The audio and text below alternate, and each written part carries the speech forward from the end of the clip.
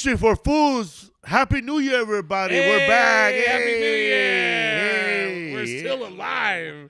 Yes. Do not adjust your televisions. You are watching us in the right seats. We are here. And we're in the right seats. Nobody changed anything. That's right. We just decided to switch it up, make it different. You know, put a couple more plants. Cheers to the new year, man. Yeah, cheers to the new year, my brother. For all the things that we love and all. I don't think that's, don't think that's how it all. Uh-huh. We'll sing a toast for old lang syne. And, and, and, and, and. One thing about white people, bro. White people have more drinking songs than us. yeah, definitely. I always see that guy in the in the in the bar, like you know, in the movies, and they're all like, "Dude, I had to spend." hope oh, none of my relatives see this. I just spent Christmas with my girlfriend's family. I didn't have to. I spent Christmas with my girlfriend's family. Lovely people, white. We had to watch A White Christmas. Have you ever seen this movie? Yeah. I'm dreaming. Dude, they don't stop singing the whole time. So and I I'm, don't like musicals. and I don't I fucking hate musicals. I Nobody like- should like- be that jubilant. People are gonna start getting mad at me, but I, I don't even like that movie Grease. Fuck no, bro. Like, I I, like Sarah- fucking hate Grease. Like if I if I had to choose the only musical that I ever watch, it would have to be Saturday Night Fever, baby. oh, really? I, mine would be um, it's a musical by M- Matt Parker and Trey Stone, Hannibal. It's about a, it's about the Donner Party. The- it's like it's a it's a hilarious musical. The Donner Party ate the, they ate each other, right? in Sacramento. Yes. Uh, no. Uh, uh, well, it's called Donner Pass now, but it's like in between Sacramento and Reno. It's like the, t- the But they ate each other supposedly. They ate each other because they didn't. They couldn't. They were like stuck up there. Ran Did any of them food. survive, or they all ate each other? One of them Uh, I think a few of them survived. I don't know the exact story. That's a good history for fools. Um, it, it, like one offer right there, though. I would say But they ate each other. they ate each other for sure. Like they ate the they ate kids. I mean, they waited till someone dies and then they ate each other. What? Oh. What me? Oh, Hannibal. Cannibal. That's what it is. It's Cannibal. Dope ass fucking uh, musical, bu- uh, by Matt Parker and Trey Stone. Oh, that one. yes. Have you seen Oh, that one? Hell no. It's it's hilarious. I didn't like the South Park when they sang in a South Park that, in that movie, bro. Yeah, South I Park was gets a very little bit disappointed. musically, musically or whatever. Yeah, even when uh, Family Guys when they start singing, I I fast forwarded, bro. Really? Yeah. Yeah. Um, I stopped watching Bob's Burgers because they sang too much. Yeah, at first I liked it only when the mom was trying to sing and she was horrible, so it was funny. But then they all sang, I changed the channel.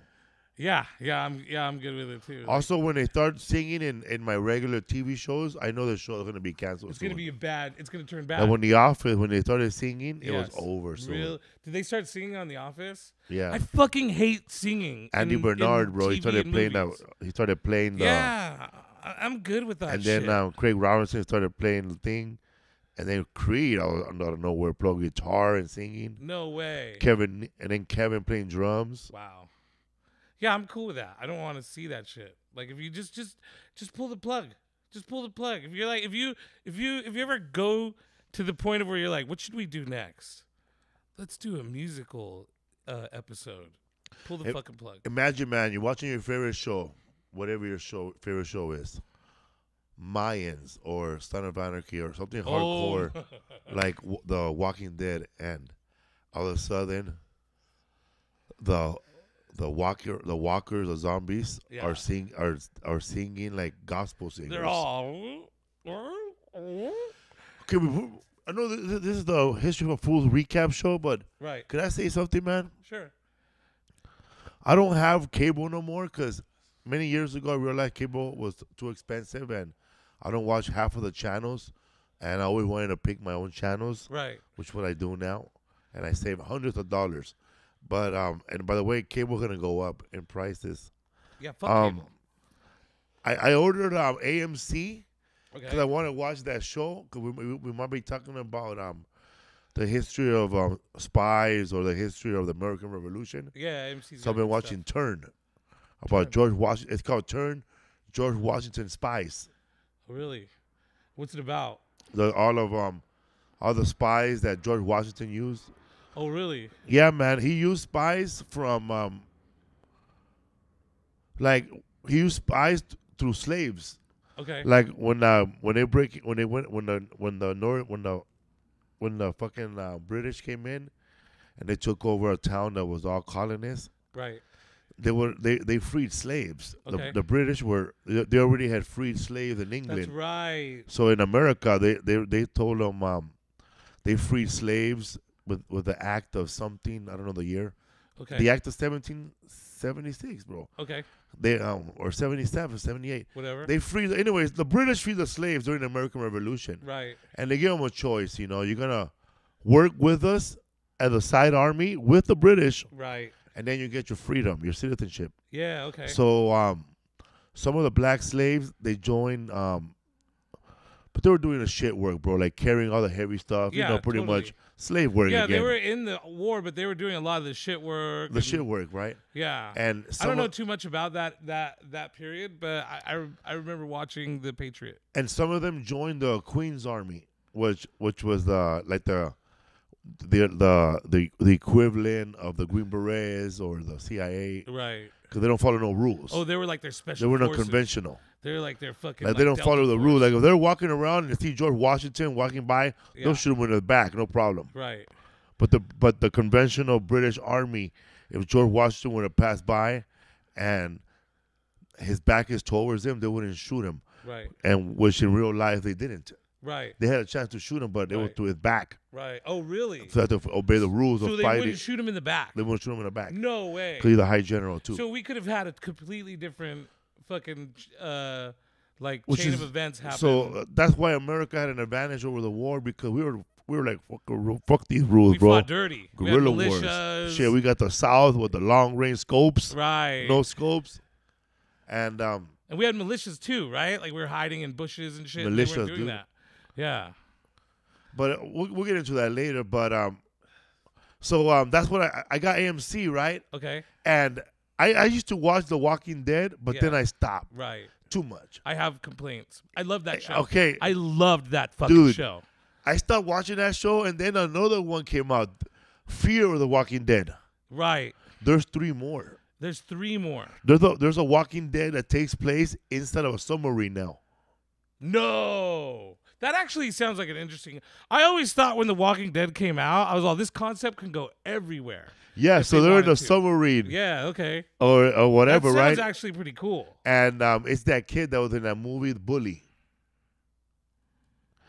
And, and he was he was in one of the Terminators, bro. When the the the, the girl came out with the curly hair. Terminator Three, Oh, I know a guy you're talking about, but I don't know his name. Um, John something, yeah. John Connor. So that's coming out on AMC. that's already on. It's already on. Have Yeah, it? and there's another Walking Dead. okay. So there's Fear the wa- Walking Dead, Fear the Walking Dead. a Walking Dead Submarine. Yeah. And then there's a Walking Dead in Mexico, right, Philip? No way. And there's another Walking Dead, right? What's the other Walking Dead? Jesus Christ, dude. That's a ton. Can you rattle them off again?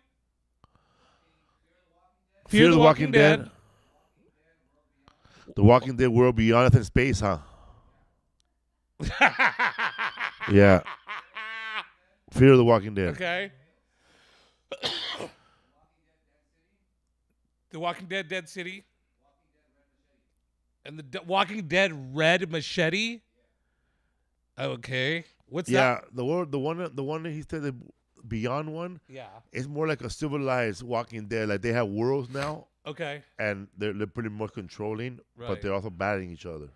Have you ever did you ever see um the one with Will Smith and it's vampires? What's the fuck is it called? I Am Legend. I am a Will Smith fan, and I have not watched that movie. Okay. That movie takes place in New York and it's vampire um it's vampire zombies and um and it's a little different but in the book the zombies get smarter and the zombies in the book the zombies are their own society and he becomes the zombie. He becomes the vampire. So I always thought that was interesting if you if you put like the brains are the thinking back into zombies and what would happen.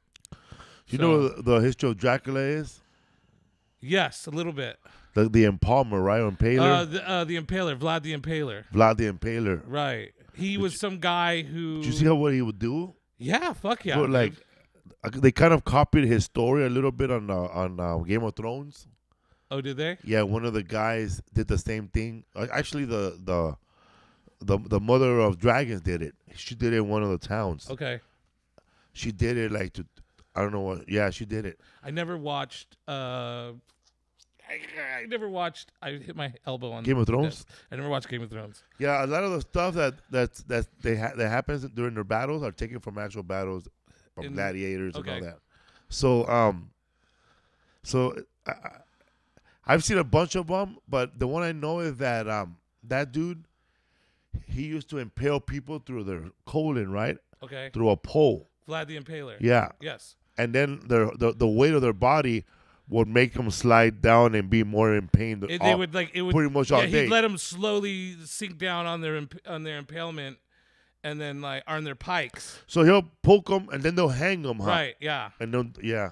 Yeah. And he, He would do, he I heard it with miles of this of people. Yeah, it was kids. It was people because this this I, I can't remember exactly, um, but he was like pissed because they killed his family. Yeah. So he was like he you know so he was like he was actually like a pretty mild tempered dude, and then this fucking this some power or military group or whatever fucked with his family, and killed everybody, and he was like fuck that, and he just created blood everywhere, and he would drink their blood. That's where the drinking of the blood comes from because he thought it was like fucking metal to drink their blood. You think the cross came around because he was probably antichrist or he didn't believe in that religion? Or he, was he over Catholic already? Well, I think at the time, if you're going and sticking people on pikes all the time, you're not a very godly person. So like the, any visions of Christ or God are like threatening to you. But I don't know where the where the exact like how they're afraid of or they get burned by crucifixes. See, that's from. the only, that's the only part they showed you, bro. The impaling. right. They didn't show you the part when he go visit his old grandmother and fed her, bro. Did he do that? No, but they do that. but you know what I mean? You could have convinced me. I of that. soft hearted him. You could have been like, "Hey, man!" Like he actually. But you know that in Hollywood they do that? Right. Like, Yeah. like they'll show a, a American Psycho yeah. killing people or whatever, right? But on the side, he's, He's taking care of his mom. Yes. Like in Joker. yeah. Yeah, yeah. I uh, I wonder, but, But th- they always, but they only show you like one part, you know, like you don't know why he did all this. Right. But it's still a, a bad thing to do. Don't go do it. Don't go impaling people. don't go impaling people if someone kills your family. Call the police. Okay, so you know the cowboy lost, but don't impale people. Don't impale people. yeah, Raymond Ortha, don't go around impaling people. All right, p- um, listen, nothing to do with the podcast. We're gonna be no history of hating, eh? right. that's a different. That's a different podcast. We need to start. So yeah, that was a that was the worm the wormhole I found in when I ordered um AMC for a week. Right. That there was so many Walking Dead that I'm not gonna watch. Did you see any of them? Try to watch them. Like No, The no. submarine one, submarine one sounds interesting to me, but the thing is, is that I, I like to me they could they should have done that at the beginning because everybody's tired of The Walking Dead, and it's like, dude, when you killed off the Asian dude, Oh D- yeah, Dale, man. or not Dale, what was his name? Kyle, No, jail. I want to say Kevin. Um, yeah, Kevin, was it Kevin? No, Gwen. Glenn. Glenn. I have a shirt, dude, in the at the back of the house where it says "Ask me about Glenn," and then and then if I go like that, it it has his beat up face from the episode. I need a shirt like that. But when they killed Glenn, everybody fell off. I feel like everybody who was because I watched from day one. I mean, I used to read the comic books, and and I was like, this is the, this is one of the most fascinating TV shows ever. Because when you would watch it, you'd go. I, I remember being like, I fucking hate zombies. Uh, fucking. I don't because I'm not into zombies. But I would watch. I started to watch because everybody was watching it, and then by episode three, I realized, oh, it's not about the zombies. It's about surviving other human beings in a situation like that. My my only complaint about that show, and I have a lot of complaint about that show. Oh, I have a lot. They're being chased by rotting bodies, right? Right. They should have been wear- like I'm. No, I can't believe the guys are not running around with handkerchiefs on, over their faces. Cause that place smells like buttholes. I, yeah, that's what I always think. My thing Or is especially when they're walking through the middle of them, right. or when they cover up their bodies with the with their blood to get through How them. are you not throwing up? How you not throwing Right. up? My thing is this. This actually made me realize I'll never want to be in any apocalypse because the most ideal. I think the reason why zombies is is a cool thing is because it's a survivable apocalypse. It's slow walking dudes who eat you, and they don't have. They're not human, so they're fun to kill. But the thing is, is that I didn't realize there's no toothpaste, no soap. These motherfuckers are having sex. They're sucking each other's dicks and eating each other out. Like on the show, like you don't see them sucking, but you see like Glenn put his head back, and that girl goes, she's like, "I'm gonna take care of you." They were just fucking stabbing zombies, and I'm like, "Fuck, that's so gross, dude." Like no toothpaste. You're. Ne- I'm never kissing anybody ever Also, again. me too, man. Like, this is a thing, a problem I have too, is that when they die, if they don't chop their heads off, they turn into walkers or zombies, You right? gotta put a hole in their head. Yes. because you could chop their head off. So- they're like a snake. Ah, ah. so in actual, in reality, in in their world, if we're gonna keep their live in their world, in reality, their world, Right. there's no way that baby would have been born alive. No, no. That's the thing. Because if your body is turning into a walker as soon as you die, right, your body's rotting already. Right. There's no way your body could reproduce a baby in- no, in that world. No. And that baby would have come out stillborn or would have come out like a little ah. Well, that was the other thing. Is in my mind, I'm all, where's the or that little baby would have been eating her out. Like that little baby would have inside out? That little baby Yeah. would have turned into a little walker baby in there. right? And because no Just popped out of abortion stomach and no like abortion, he would have ate it out out. He goes, "Hello, my baby." No, for- honest, I, I never done. Yeah, Remember, remember fucking uh, what's that movie with Arnold? Uh, Total Recall. Total Recall. with Kuato when he pulls up his shirt and there's that little baby under his his shirt and he's all and he's the leader of the resistance or something. Um, yeah, dude. I, I was in my mind the whole time. I'm like, where the fuck's the prenatal care? I had to go to a fucking doctor every week when Bobby was inside um, his mom's stomach. So it's like. You're out here walking around killing zombies, hot ass fucking. That's the other thing is it's Atlanta, bro. Oh like, oh my, so, the, so that's what I'm saying. It's humid. That smell would have been coming, humming from everywhere. and you're collecting fucking dirt and schmegma. Again, it's not. I'm good, bro. I'm And good. it's Atlanta, Mac. I can't believe nobody over there trying to stab anybody, a, a walker with one of those CDs. hey, Those CDs people trying to peddle you with. right. The other thing is, it's Atlanta. Check out my music. How many black zombies did you see? I did. I always was like, it's Atlanta. Where's these basketball sized ass fucking zombies? Like, Yeah, know we're what I there mean? seven foot twelve. Because if you ever been to Atlanta, bro, there's some big ass. Like if it, dudes wa- out there. if it were a reality, man, you'd have been chased by the Harlem Globetrotters, bro. You would have been walking and shit. You would have saw Yes, these walkers with blue, red, blue, and white thing. Oh my god, it's the it's the Walker Trotters. Do you remember that episode where they ran into the Cholos in downtown Atlanta? They were taking care of all the old people. Do you remember that episode at all? Oh, is it Walking Dead? Yeah. It's like the second episode of Walking Dead or the third. They go to get Rick's guns and they start battling it out with these Cholos in a lowrider. Oh yeah, And no, bro. Yeah, and it was crazy to me because like I, I honestly I don't I like to me I was like, dude, Atlanta's I mean I'm sure there's cholos in Atlanta. It's just not synonymous with cholos. Was like my first thought. Bro, the only one I, I remember with Mexicans in The Walking Dead was when um that crazy redneck was on the show still, bro. The one that Yes. Dale's brother. Uh yeah, Daryl's brother. Yeah, and they show those. They were, he wanted to kill or rob those Mexicans, and Dale held them back. Come on, man, they might have a little enchilada. Dude, that's right. That was like the end of when you could be overly racist on and, TV. and then I'm watching it. I'm watching it like I didn't laugh. I, I didn't. I, I didn't laugh, but I'm thinking like, yeah, he's a real redneck. eh? Yeah, he, bro, He actually think run, we're driving around with do you enchiladas. remember the episode? It wouldn't even hold up, bro. Hey, Let me tell you, man. If you're a redneck listening, enchiladas don't travel well. They don't travel well. By the time you take it from us, it'll be a Yeah, quesadilla. gross. It'll be a quesadilla. do you remember? Uh, it's like remember. I think it's like the second season, the mayor episodes with the mayor and they're that village, and they get caught, and they get thrown in a jail. You talking about the governor? Yes, the governor. My favorite series, by the way. That I don't know who that actor is, Uh, but he played a mean Elvis Presley in the movie. really? Yeah. So he, so in that episode, they find. Remember, they find the racist brother again. He's got like a, he's got like a spike instead of his hand, and he throws it. He throws Glenn, the Asian guy, in with two, uh, with with two zombies, and he tells the zombies, he's all, eat whatever you want, but you're gonna be hungry in an hour. I was like, oh my god, this fucking show, dude. yeah, yeah, that show was good for a long time, and then it got frustrating.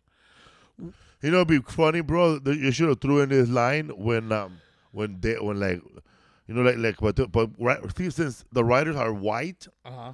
they don't know how to write jokes, uh, uh, um, towards each other. Okay. Like they know, they know how to write jokes about blacks. Right. They know how to write an Asian joke, but they don't know how to write good jokes about white people. no. Like if I was a writer, Right. I would have like, like if one of those rednecks would have been dying, yeah. and they would have been like a zombie. yeah. He, I would have. They would have written something like, "Oh, come on, man! He already fucked his sister. Might as well let him eat him." He goes like, because his sister would have showed up as a walker, Yeah. Yeah. and he goes, "Oh, that's my sister. Come on, Goes, man! You you already had sex with her. You might as well kill her now." But see, they'll get offended so hard. Right, totally. But it's hilarious, it's dog. hilarious, dude. It's hilarious as how we having Well, our the other one to me, the thing that threw me off was like when they get on the farm and it's like the Baptist minister and his like three daughters, and the, Herschel. right, and then one of them hooks up with Glenn, and I'm like, what? In what fucking world does a Baptist dad be okay with his white daughter dating someone outside of the race? Like, I, like that's where I was like, all right, this is like the first sign of bullshit to me. Probably didn't want people to be asking, man. So this was gonna be racist During the in, apocalypse. in apocalypse. That's what I saw about that Dale's brother. Like, dude, chill, bro. chill, dog. Half the population's dead. I go, yeah, you need to die. Right. And how about that? dude- That man, Jon Bernthal, right? He plays Shane. he plays Shane. Yeah. Gets pussy whoop and loses his mind. eh? Yeah. He went crazy, huh? He went crazy. Why? Because he wanted But- Lori. But you were beating the head or what? It was just, or he wanted he Lori. was turning, huh? Already, He huh? was turning, and that's the thing is that they say everybody turns is turning into a zombie, like when they're alive. I don't know how true that is, but like I, I mean, well, I don't know how true to the like. That's such such a stupid thing to say, uh, but I mean, like, um, I think that he got very jealous, and he fell in love with Lori, and he had Carl as a son, and he had the life that he always wanted, and then Rick shows up, and he knows Rick's like, dude, Rick's fucking super alpha, bro. So it's like he's gonna lose his mind. Dude, you have to sit there, bro. You get it's the apocalypse. You even if you're Jon Bernthal, getting pussy is fucking rare. And then fucking her ex husband, her dead husband comes back and takes it from you. I'd be pissed too, bro. I'd be losing my fucking mind. that was fucked up. How the way he killed Otis, though. Remember when they were, they he, he- that fat dude? He went with him, Oh yes. and he and then he goes, um, he goes, he well he had to, bro. That's He was survival. beating on his wife, right? Yeah, but when when they're like when they went to go do a little, they went on a little, they went on a little run. Otis, he was fat as fuck, right? Right. And he couldn't make the run, and then the the zombie, the walker caught up, They- and he he let and he him goes, have him. he goes, let him have it so he could get away. Right. And then we went back over. What happened to Otis? He didn't make it. Otis was the guy that was uh Always being his wife. okay. I was like, cool, you could leave him. I, I, I was there too, though. I was like, let that fool, let that, because you're in the again, you're in the apocalypse. Like if we're in a real world, bro, and you're a wife beater, and some zombies are eating you, but it's like two zombies in the whole world, and Yeah. there's cops down the street. I'm gonna try to save you. You know what I mean? I don't want you to die, dude. Well, because it's you know, but you're in the fucking apocalypse, dude. You beat your wife, you're a piece of shit. You're gonna be the first one to go. Like I, I'm surprised he lasted that long. John Bertha probably he was an, he's an American actor. Is he? Yeah. That's always been my wonder because Rick is British, Rick is British. Dude. totally British, and so is that guy that um, the Boba the Boba Fett of the show. What are you doing? Clearing Um. The black dude Oh. with a stick. Oh. Uh. What was his name in the movie? I can't remember. But you know who else is uh are he's either Australian or British is Daryl. Yeah, Daryl. Yeah, he was in the movie Boondock Saints. Right. But he plays like the best redneck in fucking uh, well, he looks like a redneck, bro. He does look like a redneck. He Like, like you can't see that guy in a business suit. No, fuck no. Norman Reedus, that's his name. Norm Reedus. Norman Reedus. He's not? I thought he was from another Oh man. No, he's British. No, he's not. I thought he was. He's so good looking though. He's not even overweight. That was tobacco between his teeth. well, you got to know how to chew tobacco, I guess. Yeah, I think he he, he, he puts it lower in his mouth and goes. Yeah, that's good. Yeah. So I thought he was British. Oh, okay. All right. Nah, bro. I thought, look, somebody look, look it up, Philip, because I don't believe this. the voice of God and Lenny. Lenny. Which one's Lenny? Black guy. Yeah, Norman Reedus. Who's Lenny? Yes. Yeah. That was his name, Lenny He's an American actor. My bad, bro. That is from my bad. See, this is what happens when you don't do your research on history for fools. You get called out. Boondock Saints. Morgan. His name was Morgan. He's Yeah. Lenny and Snatch. That's right. He was Lenny and Snatch. He's Oh. British. That's right. Yeah, that's right. He is. He's British. Oh, okay. All right. All right. Well, there you go. You learned something new on History for Fools because we're fools. Yeah, man. I, I've been to Atlanta, man. And and if you ever been to Atlanta, the punchline, Yeah. you've seen the shows. A lot of Mexicans show up to my shows. Hell yeah.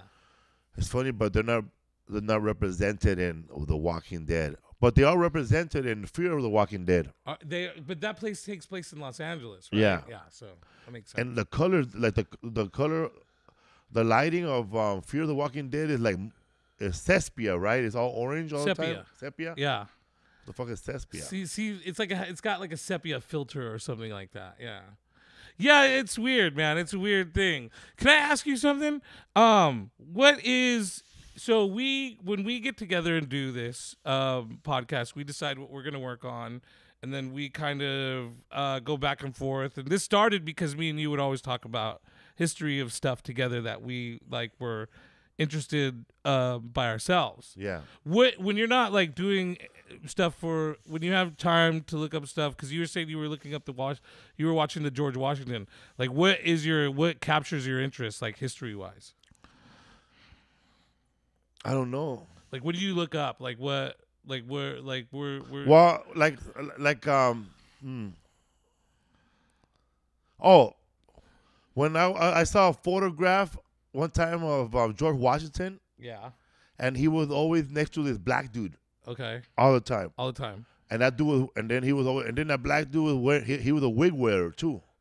And then I started looking at him more, and I started digging him up. right. And um, that guy, he was supposed to get his freedom when um, George Washington died. Oh okay. Because he it was a slave that he was owned. he like his like main slave? It was a slave, okay. But he he was well read, educated, and um, he was pretty much an advisor of George Washington during the American Revolution too. oh really? He was what Samuel Jackson was to Leonardo DiCaprio in um, that movie um, uh django. Django, okay. But not so much like in charge of a, of a whole a lot of slaves, but he was smart, bro, intelligent man, well read, and I looked him up, decorated dog, and um, do you do you know his name did you get his name Billy, Lee, yeah, he was Billy Billy, Lee. Lee. and he and he has he was a he was. Then I found out through him that there was like he was there was spies, bro. okay there were spies. So I started looking up spies, and I ran into a guy, a real person on the show. He's called um, Andy Woodhull. andy woodhull But, but for years, bro, for years, this was all hidden. I didn't Right, know. So then I said, then I, when I, that show came out, I wanted to see it. And then when I went to uh, Boston, I did the the bo- I, man. I- my- Uh, my the, the comedians I were with, they were loaded the night before, so they didn't get up till two, bro, two p.m. whoa So I ha- I got up at around eight, around seven, dude. Right. I We're was up pretty there, early. bro, with yeah. the with the Boston Tea Party, bro. Ready. Were you? Did you go? uh, did you go around and look at stuff? Better than that, bro. Right. I got in one of those those touristy buses. Nice. Well, over here we have the Boston Tea Party, and if you know the, Ah, but this. I did the Bo- I did the tour of Boston on a little trolley, yeah. and I didn't get off. Right. You know, you could get off and jump back out. They didn't get off, and I went. it taught me everything, bro. Like Robert, um, you know, um, the redcoats are coming. Oh, um, Paul Revere. Paul Revere. I found out that he he wasn't he didn't finish the run. The What happened? It was he got fucking drunk. Paul beer. He stopped for a drink and he, got he, he got loaded when he was he wasn't supposed to be in charge of the when the redcoats are coming, right? Right. But he got fucked up, and when he was about to run, his horse he hit a branch with his horse and he fucking fell, and Samuel Adams finished the, the run. No way. But since Paul, this is That's the, actually really this interesting. is what the history guy said on the Right. bus. He said that said, but but since Paul Revere's brother-in-law was the historian at the time, right. so he gave Paul Revere the the the the the, the, I feel so fucking lied to right and Samuel Adams got the beer. I feel so lied to right now. and Doctor Samuel Adams he got the beer. he got the beer. Would you rather have been a legend that people talk about all the time? Because there's a whole song. Remember, it's like the Midnight Ride of Paul Revere. There's like a poem or a song. Or would you rather have a beer named after you? I don't know, bro. How about that history? but Paul Revere was everything, bro. He was a he was a blacksmith. He was an architect, a woodsman. He was everybody that showed everybody in the American Revolution that showed up first was was had skills. They you had know, like- skills. They were the skilled Masons. laborers. They were Mexicans. They were Masons. oh, Masons. I'm all there. Mexicans. Mexicans. But then I fell on another fucking another rabbit hole, bro. When I when I was doing when I was researching coats right. because um the Masons, right? Yeah. Um Benjamin Franklin was a Freemason, right? Right. And so was um the the guy from France was a Freemason, right? Um, Gerard Depardieu. No. Uh, who? Fonfois. I made it up, bro. Yeah. um, Marquis, Marquise. so back then, Masons were like skilled workers. Yeah. They were just like this brotherhood of dudes. Brotherhood, old dude. dudes. They were just They go all the way back, bro, to the fucking um the Knights Templar. Knights right? Templar. Yes. yeah. Because I think it was like um the So- yeah. Go ahead. So Benjamin Franklin, since he was a Freemason, um, he he went over there to France and he just borrowed a bunch of money. Anyways, well, I'm, getting back to the I did the bus tour right. and I found out that Benjamin Franklin was buried was buried in Boston, okay. not in the White House, not in D.C. like everybody else. He was buried in Boston. because he was a fucking dirty pig, dog. I heard that he was a bit Wow. of a He invented electricity and also and also diseases, dog. yes. I've heard that he is a little bit of a of a little whore. Yeah, He's a little a little uh, slut. And yeah, man. So I, that's how I fell into that. Okay.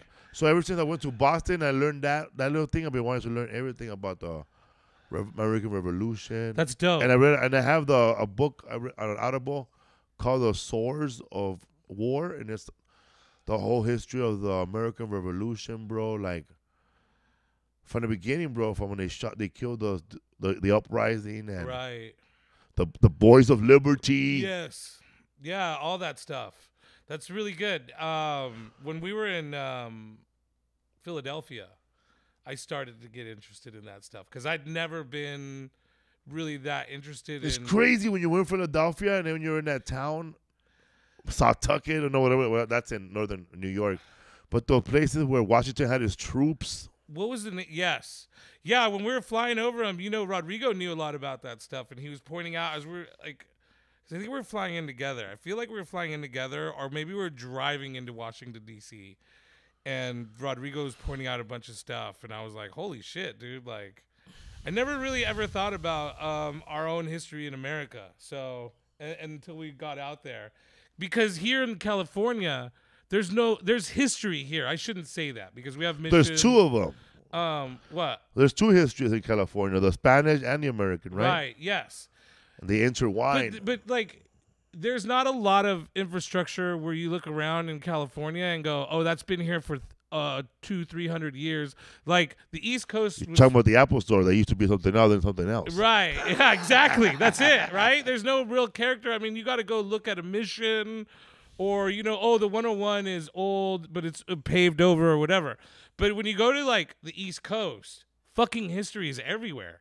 Like the build, like just buildings alone by themselves are amazing. Yeah, even like when we when we uh, we, we, we drove by uh, the the places where Sylvester Stallone ran through the houses, they look the same at They night. look the same. Scary as fuck still. dude still like still hood as fuck bro Oh, when we, were, when we were walking to the club, remember all those apartments? yes They're right on the street, they're right on the street Like- like, right there hood shit. But like straight hood shit but remember when we went to the um to the to the cheesesteak places yeah, and the homie that took us Oh, I love Fig, that was like hey, that whole neighborhood around here is like not a good neighborhood though bro that was so I good. love that area. Give me the chills. We went to, we went to the Pat's cheesesteak right and the other one, uh Geno's? Geno's. yeah Also, man, that whole if you ever go to Philadelphia, that place, Pat's and Geno's, that whole little area, we didn't get to see all of it. But if you walk even further, there's a place where they got nothing but espresso and cappuccinos and cannolis, but it was closed no when we got there. Oh, I love those It was closed when we you know got what there. you guys missed was Reading Station, our reading station. oh, you went? that thing was fucking amazing, bro.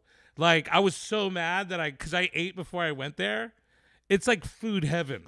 It's funny, dude. You say radio station because remember when um, we were talking about um, all those places that these billionaires used to own, and that was the radio station, it which Station? all, e, every all, all those little markers of businesses that were in are in monopoly are actual real places The in Philadelphia. places that were owned by fucking millionaires or billionaires. Like when we were in Pittsburgh, bro, zhzh, Pittsburgh was also we were right ne- we were not right next to one of those cranes. Dude, we need to go back and revisit, uh, or not re- go back and revisit. We should go back there and revisit, but um, we did a lot of research on that. I think that's kind of what tipped us off to the History for Fools.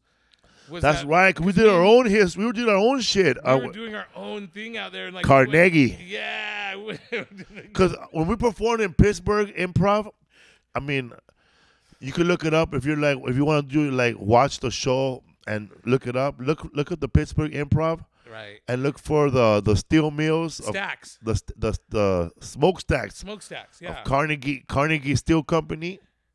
Carnegie Steel, right? Right. And then between our hotels was that huge crane that they would dump the hot ore into the river right there. The. Gary or the Gurney? Uh, yeah, it was called the the Je- the Jenny or the Yeah. Gurney or something. Um, dude, I'll put I'll give pictures to Philip to put on right now. But it's like this huge crane, and it would drop the hot ore into the river, and then the that river that we. Because both our balconies were facing that river, Yeah. and that river was used to bring steel up and down. Carnegie river- had bought all that area and took advantage of that area and was like, uh, that was like we were staying smack dab right in the middle of one of the most historic places in Yeah. America. I would say. Yeah, you look up um um steel protest. Carne- Oh Car- Carnegie Steel God.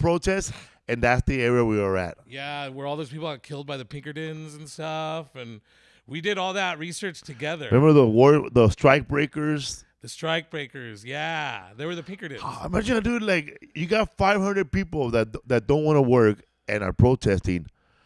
Man, I mean, back then, how those guys could find 600 people to go beat their ass. right. But nowadays, bro, people are just lazy. You can't find 200 people to help you, two people to help you No, you can't pay me enough to fuck somebody up, and I'm capable of doing it. Imagine, bro, we're gonna give you one dollar and a hot soup and a billy club. Go out there. they would go do it, bro.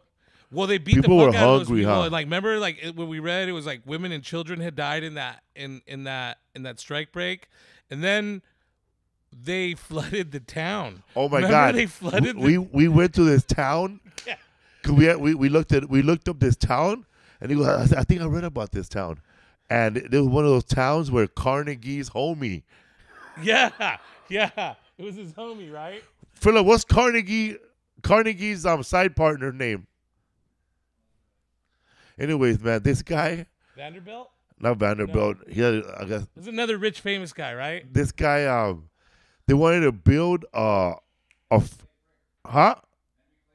Henry Clay Brick, gangster. Yes, yes. Remember the, that dude? Henry Clay Brick was the uh, financier and a businessman too of the time. What But was he- it? Brick. F. Frick. Yeah, Frick. Right. That guy Frick, he was one of those guys that was he was like one of the hardcore businessmen, you know, like the Yeah. old school, you know, like like kind like Donald Trump's father, like old school, you know, like you know, like the Andrew Jackson style, like we're gonna we're gonna have a duel. You Do know, you remember why he flooded the? Was he? yeah, he was. They, they were building. They. They were building a a golf course, and they were building a lake to for fishing, bro. That's right. It was. A, it was. A, they were building a country club in that area, Yeah. and they they wanted um Rich people are so nasty. they dude. wanted they wanted a the lake, and they kept telling him, "No, man, you can't do that. You're gonna we can't overflow the lake." And Right. they and then, oh man, it started raining, and Yeah. like let me tell you, man, they that flood that they caused back then was so bad that they found fools floating in Cincinnati. Yes, that's right. They found bodies floating. That's right. I forgot that. Holy shit, dude. That was I remember cuz it was like uh what was it like 400, 800 people, 400, 500 people that died in that or something like that. And that people lost their businesses. Yes. Wow, bro. That I remember doing reading about all that stuff. We were guess- so fascinated. Guess how much they were fined and how many people went to jail? Um, if it's anything like it is now, nobody, Nobody. nobody. And Carnegie was out of town while this all happened. Of course he was, dude. Remember, he was out of town. He came back all mad. He goes, "Hey, Frick!" And then they fired his ass or something. Yeah, and it was that's it. That was it. They had a little. Then spat. later on in the future, somebody shot his ass. Finally. finally, but Jesus Christ, dude, that was a really good. Imagine, man, like how do you come up with being like the main guy that I'm gonna be the only one selling steel? Or there's competitors, but he was like the biggest. Carnegie got together with another guy right later on. Um, trying to remember the name. It was Carnegie and American Steel, Yeah, it was um Carnegie. Rockefeller, Um, yeah, I think it was either Rockefeller, J.P. Morgan, J.P. Morgan. Morgan, bro. Right. Yeah, I- I- You know what was, what was cool about that was that we didn't know that that was where we were gonna be. I didn't even know. No, we just rolled up. We were like, "Oh, cool! We have balconies that face the river. This is nice." And there's these huge stacks off in the distance, and you started to look everything up. It happened. It's funny. It happened so long ago that when you talk to the people there, they don't know shit about it. Eh? They have no idea. They have no fucking. Nobody in that area knew any of that shit, dude. Like We're gonna Uber give you a stadium, all right? Dude, our Uber driver was like, I don't know why the fuck these things are here. Like, this is just some steel. He's all, I think they built steel here or something. I was like, I remember sitting in the back of the car. I'm like, you can't, you mean make steel? Like, whatever, bro. But I was like, yeah, they have no fucking clue. They had no clue. And to me, I was like, holy shit. I was so fascinated. Me and you were both fascinated. But I started sending pictures to my girlfriend, and it was because it was such a fascinating subject. She started looking stuff up and sending me information you know, because it was like, and all of us were like, "Holy shit!" Like all this stuff went down, not we went down the to street, the we went to the smokehouse at night. Remember? right? Yeah, yeah. We went to the smokestacks. Huge, huh? Huge, man. They were huge And they were burning all day, huh? all day, all day, all night. And that was the thing. Well, because to me, it was cool about it was like it wasn't a park, it wasn't down the street, it wasn't like it was kind of unknown that all that, and and it was like, again. I'm telling you right now, like one of the big pillars of the United States are of our power is our steel was our of uh, was our infrastructure in steel Fierro, baby. and Puro so fierro. All that shit was going down right there. It wasn't like oh this is like some part of history. That was a massive part of history. Smack dab in our hotel and the club we were going to were right there. It was fucking so cool, man. Man, we heard we, we read uh, uh, the first time I went to Pittsburgh. Um, I remember talking to like because there was a woman there I met at, at the show. She was wearing a, a, a one of those Teamster steel jackets. Yeah. And I said, "Oh, you worked there?" Goes, no, my grandfather's. Right. That's the thing, man. I wish that I had a lot more time to explore Pittsburgh um, because it has a lot of history like that. And I'm sure there are people that have been there. Like, I mean, because even up until what, the late 80s, steel was a big, big deal in Pittsburgh, right? Also, um, Yeah. Um. Now go ahead. No, that's all I was saying. Was it just would have been more? It would have been interesting to to talk to people that. and uh, that, that's what they had. We were, ta- we're, we're talking about. They made that movie. What a feeling. Flashdance, Flashdance was that in Philly, Pittsburgh. on Pittsburgh? yeah. No shit. Because in the movie she worked in a steel company. Oh, that's right. She worked at a steel Remember, mill. she's that that montage of her going to work with a construction construction helmet all cute, yeah, and then her fucking welding helmet, right, and then her dancing, and then dancing, and then the fl- yeah, I and the remember that. waterfalls. I when I was a, I remember as a kid watching that, and not understanding what uh, the significance Bro. was that. I read a book called um, High Pitch Concept, Okay, and I have it at home. I'll let you read it, uh huh. and you get to me back later because it's the only copy I have, and it costs seventy five bucks. No way. They stopped printing it. What's it about? It's about Don Simpson, Simpson and Bruckheimer. Okay. Remember that? It was Bruck, It was Simpson and Bruckheimer films. Oh, productions, yes. but now it's just Bruckheimer. But it was Simpson and Right. Bruckheimer. What And Don? Simpson OD'd and died, bro. But that the, the whole book or the auto, auto, autograph, autographable book about him, and when he he was the one that casted and came up with that movie Flashdance, Okay. and it was be her between her, that woman and and another woman, bro. Um, the woman from um from um she played the cop, the bad cop in um, Ace Ventura.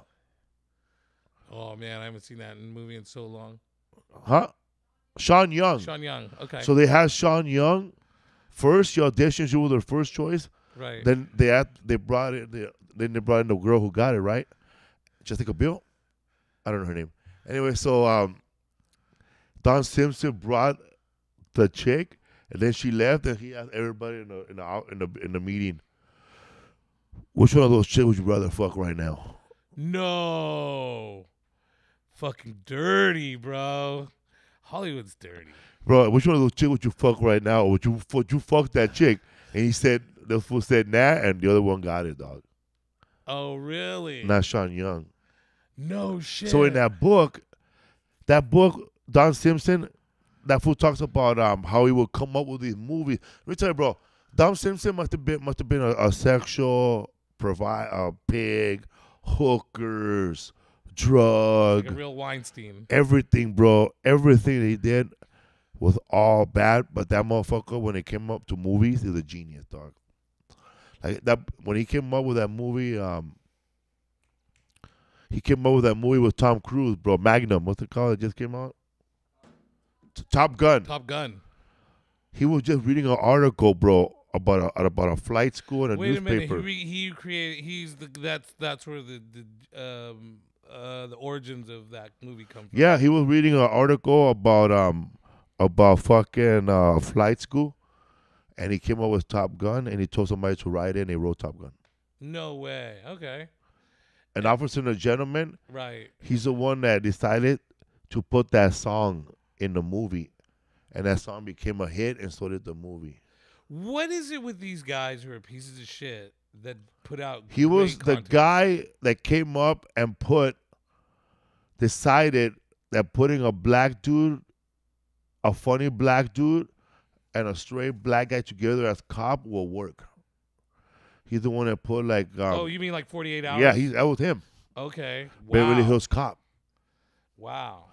Uh, he did all the movies. He did Beverly Hills Cop, bro. He did um, Bad Boys, Bad Boys One. He did Bad fucking um, that a, a lot of great movies. All the big movies of the '90s and '80s. It was him. The The Rock. Rock. Wow. Although he, he he was the first person to put a soundtrack that was a hit in a movie, wow. and also fucking a chick while the other chick is taking a shit. That's. Wait a minute. Let's go back to that one. No, you went from you this- went from putting a fucking hit in a in a soundtrack to fucking a chick while she's taking a shit. talking to the chick while the other chick is taking a shit. Two chicks. Two chicks having sex with each other while one's taking a shit. What movie is this? No, this is in the book.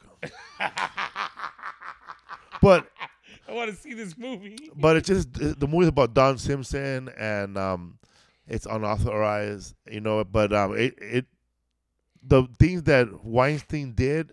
You know, he's a rapist, but this guy, I don't think he ever raped anybody. Right. He's- But his, he, but his name comes up in another book. okay.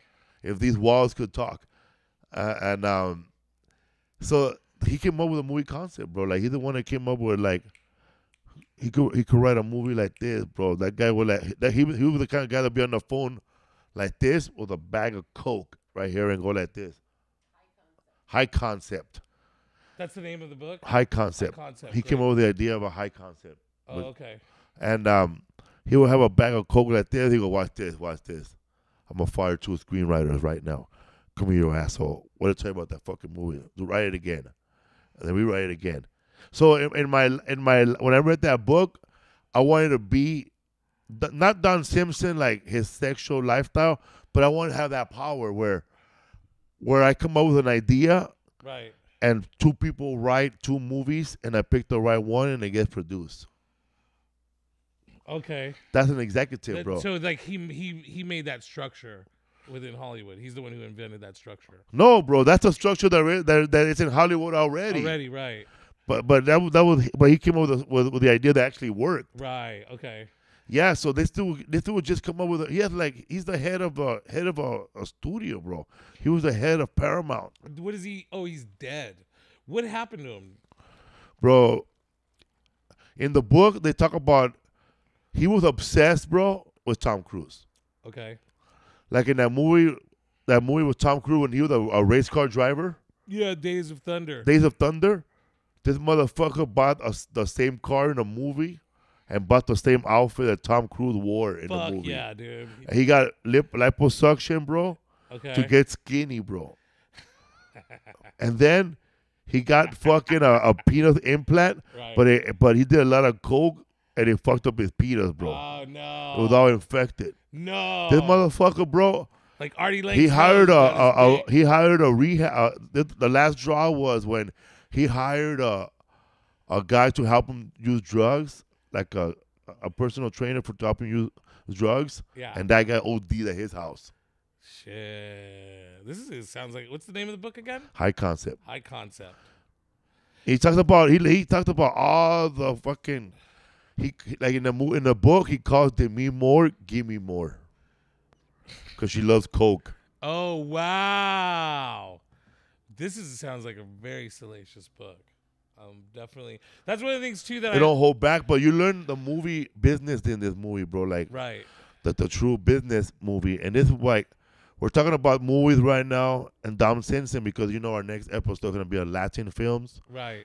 And we're gonna really dig in on like why there isn't is that much I w- I wouldn't even call it rep- representation, Underrepresentation. but there's like no there's not even enough Latin Latin films made in America to really say there's representation. There's a small, and you'll be surprised at some of the numbers that I found, and I'm sure that you found some of them. There's a very, very small number of Latin people versus all the other. But representation counts, man. Because when I was a kid, I didn't know it then till I know it now. I was watching um, Diff'rent Strokes, Yeah. and a Mexican guy showed up in Right. the movie, and he was like uh, a he wanted to beat up um Gary Coleman Of course. because he owed he owed him money. So he was the bully. He was a bookie. Oh, he's the bookie. I think uh, they were making bets and they were losing, okay. and it was Sal Lopez, bro, oh shit. a young Sal Lopez. that guy, he's like in Sanford and Son and all that. yeah, stuff. I he was an American Me. He was Yes. um, um LJ's almost dad. Right. Yes. Philip, look up um Sal Lopez on Diff'rent Strokes, and you could see his photo, 1970 something. And I was like, "Fuck!" And I thought that was cool, bro. I remember being a kid and thinking Ponch was the coolest motherfucker on the planet. Like I wanted to be like Ponch, and I thought that I was gonna look like Ponch one day. Now you just punch. Now I look like I had too much punch. Now you're a paunchy guy. Paunchy. What? Yeah, he's a dad in American Yeah. Me. Yeah, man. So, but like um film, man. Like, I for me when I think about film, movies, photographs, cameras, I think it's still from outer space shit, bro. To take a photo like this right. and then later on it, it, it, it prints right. It's just right here. right. on an image or on your phone. how now. it's just on your phone, man. even That's even, to, to me that's yeah. like the that's like the greatest invention of all time. That no matter how many times you try to explain to me how it happens, I'm gonna forget, and it's gonna always be incredible, bro. Like I remember, like I remember, man. I, I it's a funny it's a funny joke right now, man. I thought remember the old days, man, when you when you when you when you you, you could um take a photo of a naked chick and jerk off in the curtain. Hopefully you won't blow yourself up at the same time. That's fucking hilarious, dude. But Doug, you would have to take a photo like this of the and then and then blow up cock and hope and then I'm pretty sure people Yeah, were burning their head. puff of like smoke and That's what I said. Yeah. Back in the days, you could take a photo of a naked chick and masturbate. Nobody knows nothing. That's good, dude. That's good.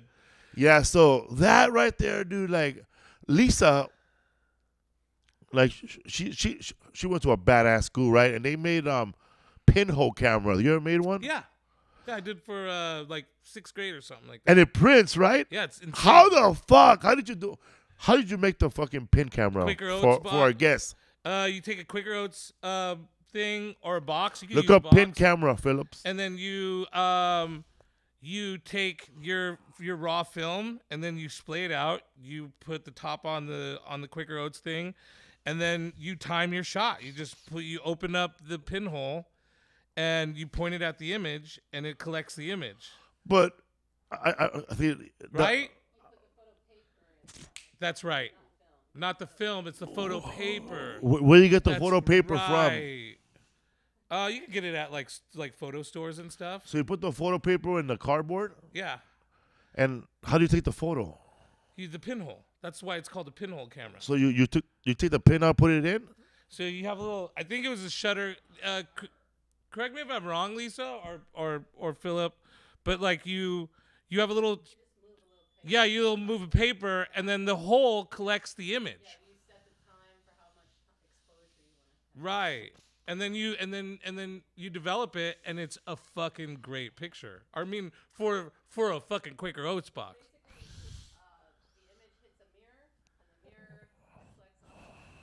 Right. The image hits a mirror and then the image hits the paper. That's right. Okay. Yeah. But it's still amazing. I still don't understand why that happens. What the Why the um, image goes into that image. Right. It's fascinating to you. Yeah, like how? Why? I mean, I don't Is it dust? Is it nuclear? No, it's it's um it's like reflection of light. It's reflection of light. So like Okay, now I'm getting it. Okay, so I have actually a little background in this because I, I had photography when I was younger. Um, I had a photography class in college. It was the last film photography, and then they switched to digital after I completed the class. Thanks, West Valley. Um, but yeah, so you have paper, and it's um, it's got silver and shit in it. It's got these chemicals already inside the paper. And so it the, the chemicals react to light. They react to a certain type of they react to well they react to light and and shadows. And so um when you put this so once you put the image from the mirror onto the paper, which is what the old all those old cameras that you're talking about with the fucking like uh where the guy was like covering himself, those are virtually pinhole cameras. Um But somebody invented that paper back then, huh? way back then. It was made from silver So, back th- then. so that paper was around before they decided to make the camera. How Right. probably used for something else. it's still in use. You can still find silver. It's called silver halide, um, and you can still find the paper at like photo so stores. um, why, why are the the I don't know when I see those photos taken from the what are those cameras called that are in the curtain? Um, I don't know what they're called. Well, when those cameras, the photo always came out like too bright. It looked like Right. it came out too bright. yeah, yeah, they were always overexposed or underexposed. Like filming's like, I mean. I, I remember watching. Dude, one of my favorite videos to watch on YouTube is Reflective um, someone takes a, a a camera, and this is like 19. This is prior to 1906, I believe.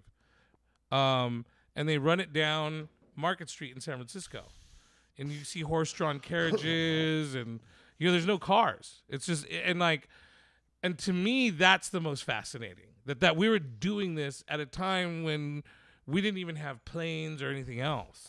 Yeah, because I think the first, the first, um, the first camera, film, projector, and all that shit to make a movie came to Mexico in 1897, huh?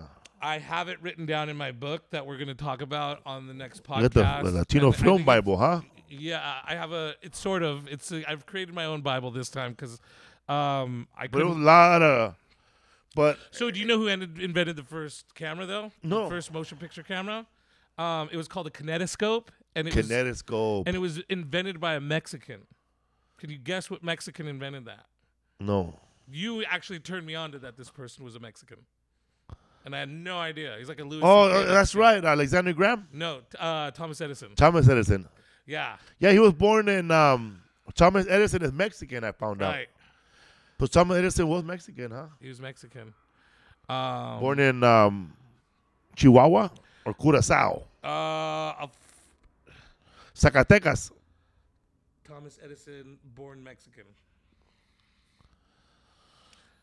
Uh, yes. Thomas Alva Edison was born in Zacatecas to a Mexican father and white mother. He was the first anchor baby, also. he was a backwards anchor baby. Um, I can't remember the town, but we'll get into all of that. Uh, on because I I think Yeah. I think atta- So he invented the camera or the film, movie mo- he invented um the kinetoscope, which was. Do you ever go to Disneyland and that thing you put your eyes through and you fucking turn the thing and it shows like a slow moving picture? bro, I saw one on Family Guy, bro. Yeah, that's a kinetoscope. It was a kinetoscope. They used to have they used to have those in um, Santa Monica Pier back in the days. Right. But the one, I, it ain't the one that has like a bunch of pictures moving fast, right? Yeah, that's a kinetoscope. Yeah, man. I saw a funny Family Guy episode where um where P- Peter goes, "Oh, look, um, vintage porno," and then he, he's watching it, and it, and it's a uh, and it's a woman voting, bro. Yeah. And he goes, "You do it, you rebel." I remember that episode. That's good. So you move it by your hand, huh? Yeah, the early ones where you move by your hand. So he invented those, and then that actually started to very quickly turned into filmmaking. I used to watch old school porno, man. It, it was crazy, man. Man, I, my, my my fucking both arms were tired and shit. All right. I was I was ready to drive a steamboat, eh? you know what, man? Though I'll say this: I remember one of my early memories. The earliest memory I have of you um, was getting in the car in L.A. and um, we were driving around, and you were showing me all the cool things, like all where all the movies were made, uh, those houses up on that hill. Like you were like you told me that like uh, actually parts of Scarface were filmed um, in Long Beach. Like That's you had all this, Yeah. dude. You like blew me away with how much you knew about like the move, the film industry um, uh, in regards to Los Angeles history. Yeah, man. Most of the Keystone films, Yeah. the early Charlie Chaplin, one with the, one with the running, the, the cops that were just running around getting hurt, Right. they were shot in Silver Cops. Lake. Okay. Oh The- wow. Okay. Yeah, they used to, they used to have the the talkies, the, the I guess the silent movies. Right. We should. I think we should do an, another episode on on what you know about all that stuff because it's you, you have a huge, vast knowledge of lo- like. Let me tell you guys something about Felipe Esparza. Okay, fucking vast knowledge on movies and um who made what, what this was, all that stuff, and then in regards to L.A., but also like you have an amazing knowledge about Los Angeles. I love LA. Like loves L.A. So I took him to where the um that movie. This is a Laurel Hardy, Laurel and Hardy movie. If you go look it up, it's called. uh, I think it's called The Music Man, but I'm not sure. And the whole the whole short movie, it's Laurel and Hardy carrying a piano up the stairs. Oh yeah, that's And right. I took you to you go did see show the me that. You also showed me a theater where they used to play uh, silent movies. Yes, right there on uh, Melrose, Yeah. not Melrose, La Brea. Yeah, it was La Brea. I can't remember, but you showed it to me, and I was like, man, it, it just fast. Like, like you have a lot of knowledge, and I don't think we should. I think we should. So Definitely they're by Canter's. An episode on. it. Yeah, I was over by Canter's. Fuck, we should do. T- uh, we, So we had that roast beef sandwich. about Canter's. We got to go to Canter's while I'm here. Yeah, man. This time you can sit and eat there. Yes, let's do that. Let's have lunch at Canter's. History for fools, people. Also, man, um, we didn't really get too much into it, but um, you said that somebody was a with Oh, the recap. a recap about um, Someone threatened me. because you they said you don't know shit about San Here's Jose. I, I- I just want to cl- clear the air, you guys, because like there were a few, there wasn't a lot of bad comments. Most of the comments on our page are really good. I appreciate everybody who loves this show. I appreciate everybody who comes up to me. Shout out to Danielle uh, for coming up to me last night, and I'm going to talk to Felipe about the suggestion later. But um, here's something, man. I have to do when we do history for fools. Like I have to like start going into everything right away. So not everything's going to be 100%. That's why it's called history for fools. But also gangs is a hard issue because it was like illegal stuff. So there's nothing on the record. So and then also I wasn't in a gang and I and made that very clear. I also make it very clear that I'm a fucking pocho. So like I I, I like when you like this lady started going, "Butch, you don't somebody from San was like, you don't know shit about gangs. You should keep your fucking mouth shut." And I was like, "Fuck you, bitch." I just typed "fuck you, bitch." fucking don't fucking come in my fucking inbox. Like go fucking my I said something, but then it turned into her son sending me death threats. I had to block him because he was going on every one of my like fucking every, like every Instagram, and like he was going to people who were like, "Butch, I love your work" or whatever, and going, "Well, did you know that he tells he told my mom to fuck off?" and he was like, and when I see like he like he would send me my flyers to my Damn. shows, and I was like. Okay, bro. I guess if you kill me now, there's evidence. So I just it was weird that I got I got that death threat from someone in San, especially Yeah, from San Jose. Yeah, man. This person went way far, man. He even started re- leaving reviews on Bush comedy on Yelp. Like fuck, this guy he sucks. And the next door rap too. what was that one that you had to check in back in the day? What was it called? Oh man, Pin? the joke's not gonna land now because Foursquare. You remember Foursquare? Foursquare. He was even going on my Foursquare account. He was going in my fucking uh uh was it uh was it old not Facebook? MySpace. Friendster. He was on my MySpace, bro. Oh. He was hitting up my top eight, being like, "Hey, did you know Butch Escobar told my mom to fuck off?" But anyway, man, I'm sorry that I told your mom to fuck off, but I don't think it's appropriate to threaten my life over it. So, I was tripping, bro, about the gangs of Disneyland. We were talking about it. Gangs of Disneyland was interesting. Weird, huh? Weird. Hardcore. Because, Did you learn anything new from that? yeah, man, all that undercover shit at Disneyland. Yeah.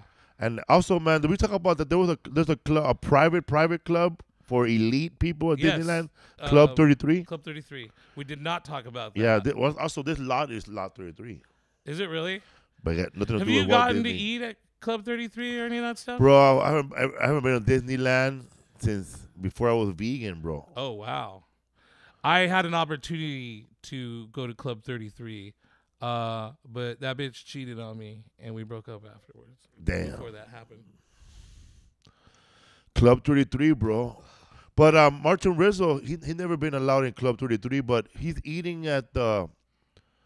I guess you can go there, but I don't know how you get, get in there. That um that restaurant that's Oh, right the- next to the Pirates of the Caribbean. The Blue Bayou. Yeah. That's for everybody, right? yeah, that's for everybody, but it's right next to Club 33. I heard they got the like that bomb Monte Cristos. They have bomb ass Monte Cristos, bro. Yeah, Bomb ass Monte I've Cristos. seen them made, bro. Bro, I uh, okay. um Do you go to uh? Di- when you when, before you know? so my ex girl okay, here's here's what happened. Did you go to Disneyland a lot? Cause yes, Pete we had Munoz season goes passes. a She lot, bought, bro. she bought season passes for us every year. Pete Munoz goes a lot too. Bro. I I know, and I don't want to be compared to that person, but I. sorry, Pete. Um, he sleeps with the ears. dude, like I was sucked into it because I had a kid, and the girl that I was with was fascinated with Disney, and they were so happy that you know my son was interested. So her and her mom bought us season passes every year. I don't mean to. Be, I mean they were wonderful. I appreciate that. I don't appreciate her doing what she did to me, but um. Yeah, we went to Disney World a bunch. Uh, went to Disney World for nine days, and then every year we had season passes to Disneyland. Uh, you're talking to someone who's never even been to Disneyland in his life till he was like, I think I was like 33 or whenever Bobby was a little You? kid. Yeah, never been to Disneyland. You didn't go to Disneyland when you were three three. Never, bro. Never got Bro. to go. My family went without me once, but uh, that's because I had to play football. But still, that sucks, bro. They'd rather go to Disneyland than go to your football game. Fuck, bro. I was so mad, That dude. shit'll fuck with me too right now. And I bro. never- that shit make bro. me angry like it happened to me. You want to know what happened? I played football for two years. It was like, fuck this and fuck these people. I'm never doing this again. And I missed fucking D- Disneyland for that shit, dude. But yeah, I didn't get to go till I was an adult. But what was cool was I was bitter about it. So I always hated on Disneyland. And then going all that time, though, kind of melted me, eh, like with Disney. I, I, I like it. I'm not going to lie, bro. There's something fascinating about it. First time I went to Disneyland with my parents and my whole family, it was expensive. Cause um, back then it wasn't like one price and you pay and you get the rides. You would you would you would have to Oh, buy you to pay you would, you, you would have to buy a booklet Right. of, of ride tickets like they do at the carnival or like they do at the anywhere like like in um the Santa, Santa Cruz. right, yeah. Philip, look up um look up um Disneyland old school book booklet and put it up there. Yeah, man. So you would have to buy you you were you would pay to get into Disneyland. Right. And then once you're in there, you gotta stand in line. Oh, wait, you still had to pay and then you had to pay to get the yeah, book? you gotta get a booklet. Oh, And the all that. booklet, bro, it had like letter A. It like you would buy the whole booklet Right. and like or have like maybe two A's and those are the good rides, like Space Mountain and Matterhorn. But then you got the B's, the C's, and the D's. The, Tons of D's, I the bet. D's, bro, were all like the like the merry-go-round, the bull, bullshit ass rides, Yeah. the Mad Hatter, the cups. yeah, I fucking hate those stupid ass cups. Yeah, dude. So you would have to have a booklet. Once your booklet runs out, you either buy more tickets or you go home. And then how much was like a whole booklet? Do you remember? Bro, I don't remember, bro. Just know they're expensive. That's crazy. I wonder when they stopped doing that. Um, having like, cause I remember, cause I, I mean, I don't remember actually, cause I've never been to Disneyland, but I know that at some point they started charging a lot. I mean, it's a thousand dollars to go for two days to Disneyland right now, like eleven hundred bucks. You're I- talking about California? Yeah, like for two days to get a to get a two day. It's called a two day hopper, like park hopper, that's a badass hopper. and like you, and and um, it's it's almost eleven hundred dollars for it. I think it might even be more. Five years ago it was eleven hundred bucks. Damn, bro. When I was a kid, like, I went to Universal Studios, bro. I've been to Universal Studios probably more than Magic Mountain and Disneyland and Knott's Farm put together. I've never been to Magic Mountain. Bro, I've been to Disney, Universal Studios first when I was a little kid, dog. It's how old school I went. They had, they had a, a, a sh- you know, you go watch those Universal Studio shows, and they show you how they do Knight Rider, or no, they show you how they made um, they show you how they made A movies. team and, and Yeah, I- A-Team. I, went to Universal Studios once and it was A team, uh, ET. You get to like get a picture on the bike with ET, and then um, you get to lift the A team van, and then there was the Back to the Future DeLorean, and then Jaws. I remember Jaws. Fool, I went to Universal Studios. This is how old school and all these shows were. I they had a thing where they show you how they made Laverne and Steve Shirley. Austin, the Million Dollar Man. Oh wow! Dun, dun, dun, dun, dun, dun, dun, dun, No dun, way. Dun, dun, dun, dun, dun. And they got this this white boy that was in shape with little shorts Right. and little little little hair, little Bruce Jenner hair before he was um, Caitlyn, and little Adidas. And they showed him running on the, on the on the green screen, and they show the green. They showed him running on the green screen, and then in our art our um, screen, it was him running super fucking fast, dog. Right. Super. It fucking, made him look fast, but he wasn't. super fucking fast. And then they showed a guy that was like supposed to be like a, like a Superman, Yeah. and he laid on top of the same green screen, and on our screen, it looked like the motherfucker was flying. Ah, okay. Dun, that's dun, dun, that's like that was like the technology back then. And then after we saw that, we were moved to another room, okay. and there was a, a guy there who would look like what you call a typical nerd, like you know, but what a nerd supposed to look like, you know, Okay. not like the one you see in a porno with a big penis and You're shit. talking about like 80s nerds. We- Yeah, we were big on chubby. His they weren't cool. This fool had his members only jacket tucked in. Anyway, so this guy was sound, and he was teaching. He, he was he was doing like a, a visual movie score for us. How they do it. Okay. So, but he- but also he's deadpan. Right. and you guys do whenever you do a show like this. So he was talking like that. So the fool be like this. So, so they, they'll show like um a, a, a person walking, and this fool will be like this, with um, with something making the no- the sound for the shoes. Behind them. Really? Like click, click, Yeah, click, click. Wow. So he was the sound guy, bro. He was the the score. They don't have that no more, but that was no, what they I have saw. a guy with fucking electronics. Bro, you start to show a kid nowadays that Right. they'll fucking start crying, bro.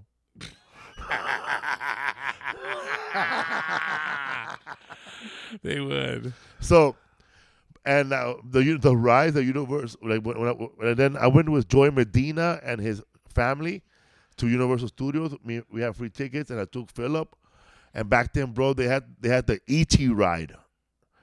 The ET ride, bro. Yeah, I remember that. That's You get on the bikes, right.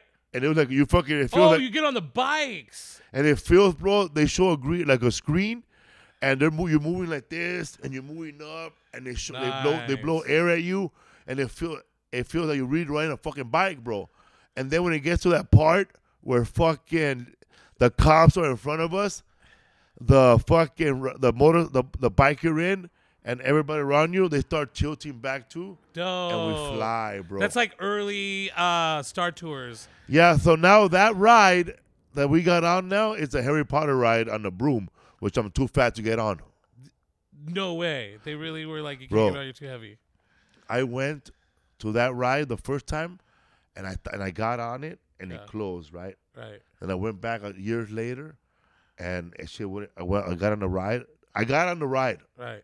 and it didn't close, dog. And they took me to another one, another go, and it wouldn't, something wrong with it. They don't close.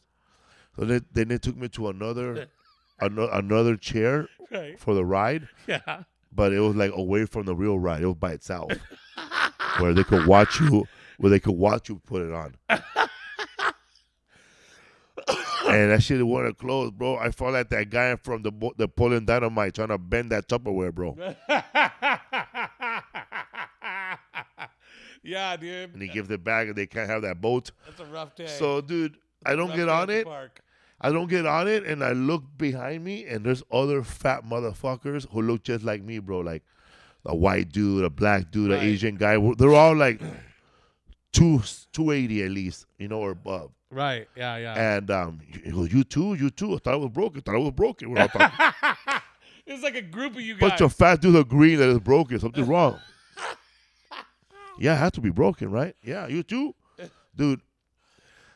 follow us. They open a door for us, and they just kicked us out, bro. Gen- gen- all- they open the door. They're all, "Hey, the ride for bigger dudes is in here." And that's what I thought, bro. He goes, yeah, they're probably taking us to a bigger ride, eh? right. Yeah. He goes, yeah, bro, yeah, bro, we're gonna be, yeah, bro. I looked at him right there. I looked at him, yeah, The door The- went out into the parking yeah. lot. Everybody else is flying in brooms. Right. We're gonna be flying in push brooms, huh? they gave you janitor hats. we're gonna be flying in push brooms, bro. So, you know when you when you get out of the ride on um, any ride at Disneyland, any ride at Six Flags, any ride at Universal, as soon as you get off that ride, there's merch for that ride. Right. There's a picture of you. So when we opened up that door, Yeah. bro, there were nothing but stairmasters and treadmills. And a diet recommendation. yeah, and how, to fast. yeah. Nah, there was a, nah, there was none of that, but there was just nothing. It was Right. an alley, bro. And then Yeah. we came around it was Like I said, it's like here's, you, you're, you're back out in the parking lot. Yeah, so that's how how many times. Also, at Universal Studio, I've seen Knight Rider, bro. I remember Knight Rider. the I was there for A-Team stunt show Yeah. and the baddest show right now, the fucking um the Water World stunt show is a hundred times better than the movie. Is that still going there? Because it's so good, right? I saw Miami Vice when I was there. Damn! I saw it too. Yeah, they had the jet skis, Yeah, right? the jet skis and the, suits. cars and the little cars that went backwards and shit. Yeah. Dude, now they have a a a, a Fast and the Furious ride. Okay. When you when you're inside that big old tram Right. and you go inside the hole, and then like this guy like like fake like Diesel shows up and goes, "Hey, we- hey we, we're gonna get, uh, we're gonna go through over there." it's like You a Vin Diesel grumbling Vin at Diesel, you. Vin Diesel, bro. The hologram look real, bro. Right. It looks like the chicks and the dudes. We're all family here. Yeah, ready? And then the cop shows up, bro, and then the it goes like you're going fast. They're fucking shooting at us, bro. First of all, I didn't get to see shit that day because I lost my 3D glasses on the ride, dog. Before we got, ah. so I had to like borrow Lisa Bro, real you quick. don't have good luck with rides at fucking at uh, at, at at Universal Studios.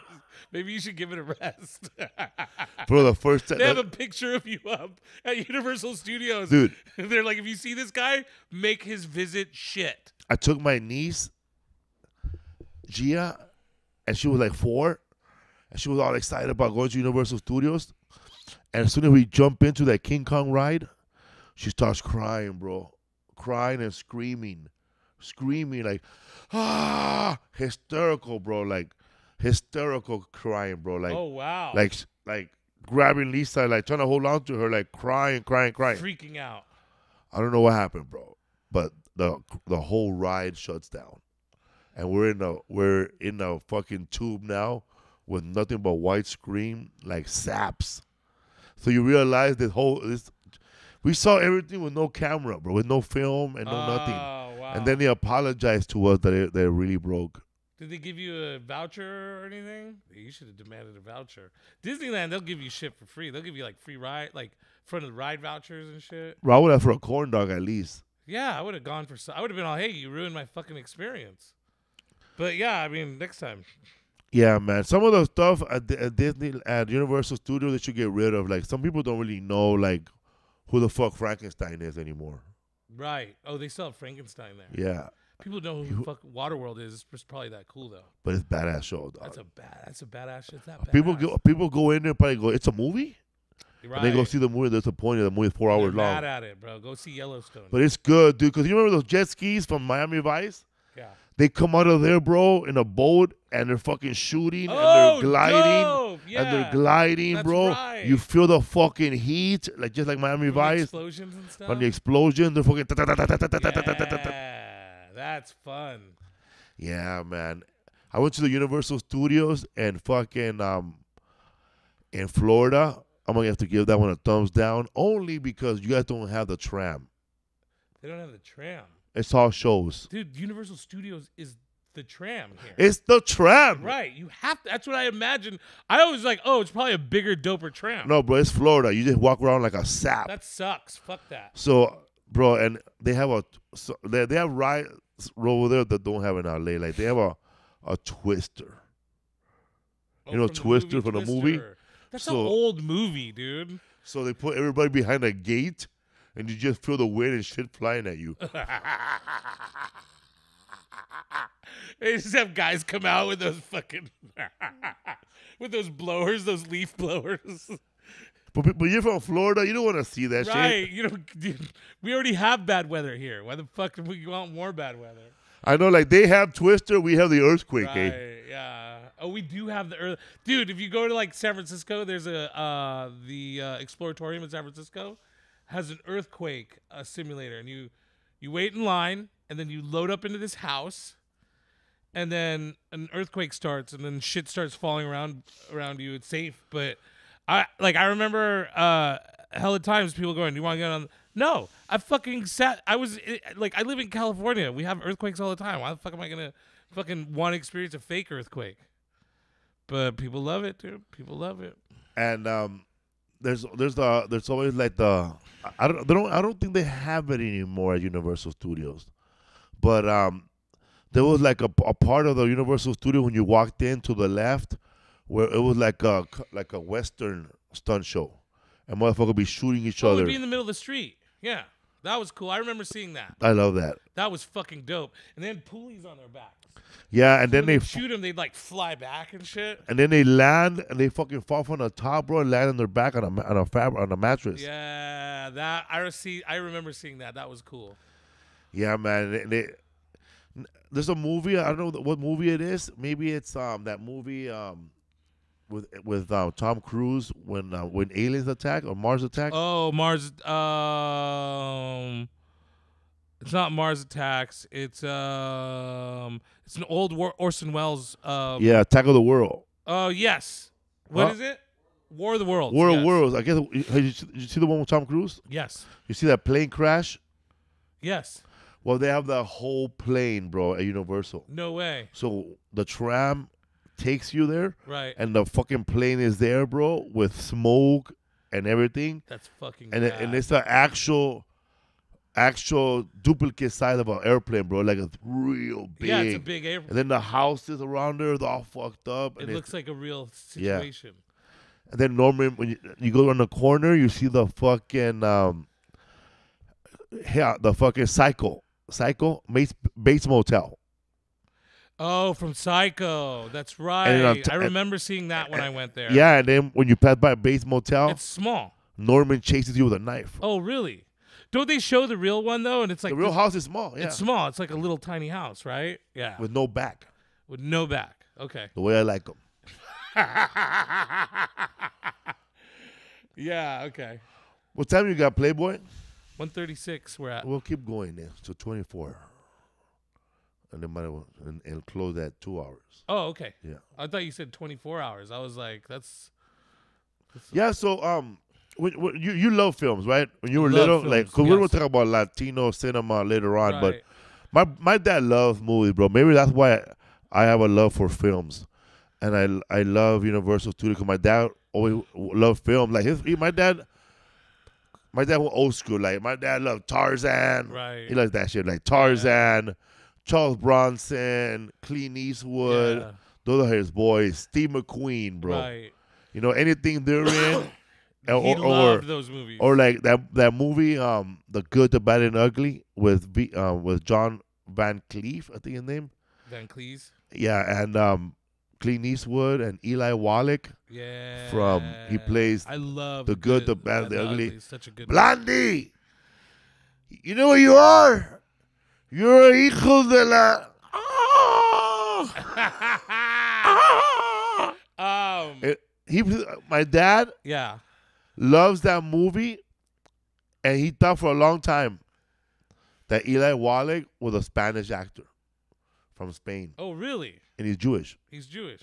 But my dad thought that he was Spanish, but he I, I, He thought all those dudes in that movie were Mexicans. he thought that Eli Wallach was Spanish because he, but he's Jewish, right? Yeah. But but he, I don't know where he got that accent or where he picked it up, but the cadence, the movements of his body, the way he talks, the look, is a total Mexican of that time. Yeah, it's very convincing. I mean, it's a stereotypical Mexican if you play him now in the, in 2023 right. or maybe in 1990.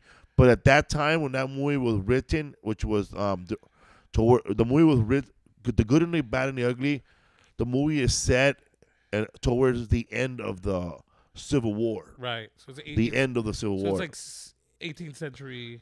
18 probably 1856. Yeah, 19th century. I mean, yeah. Yeah, and um, because they're trying to find his gold.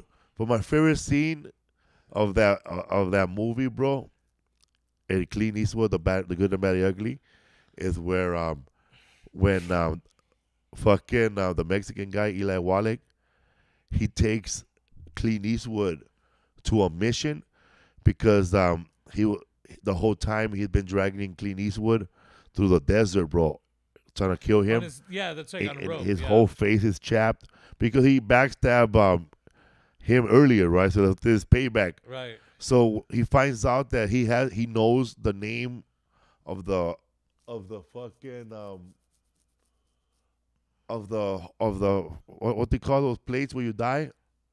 Uh, your tombstone. your tombstone yeah. He knows the name of the tombstone where all the all the stolen gold is right? Ah, okay. he knows it right? Yeah. because um that guy when, when that soldier is dying he tells Clint Eastwood where the gold is.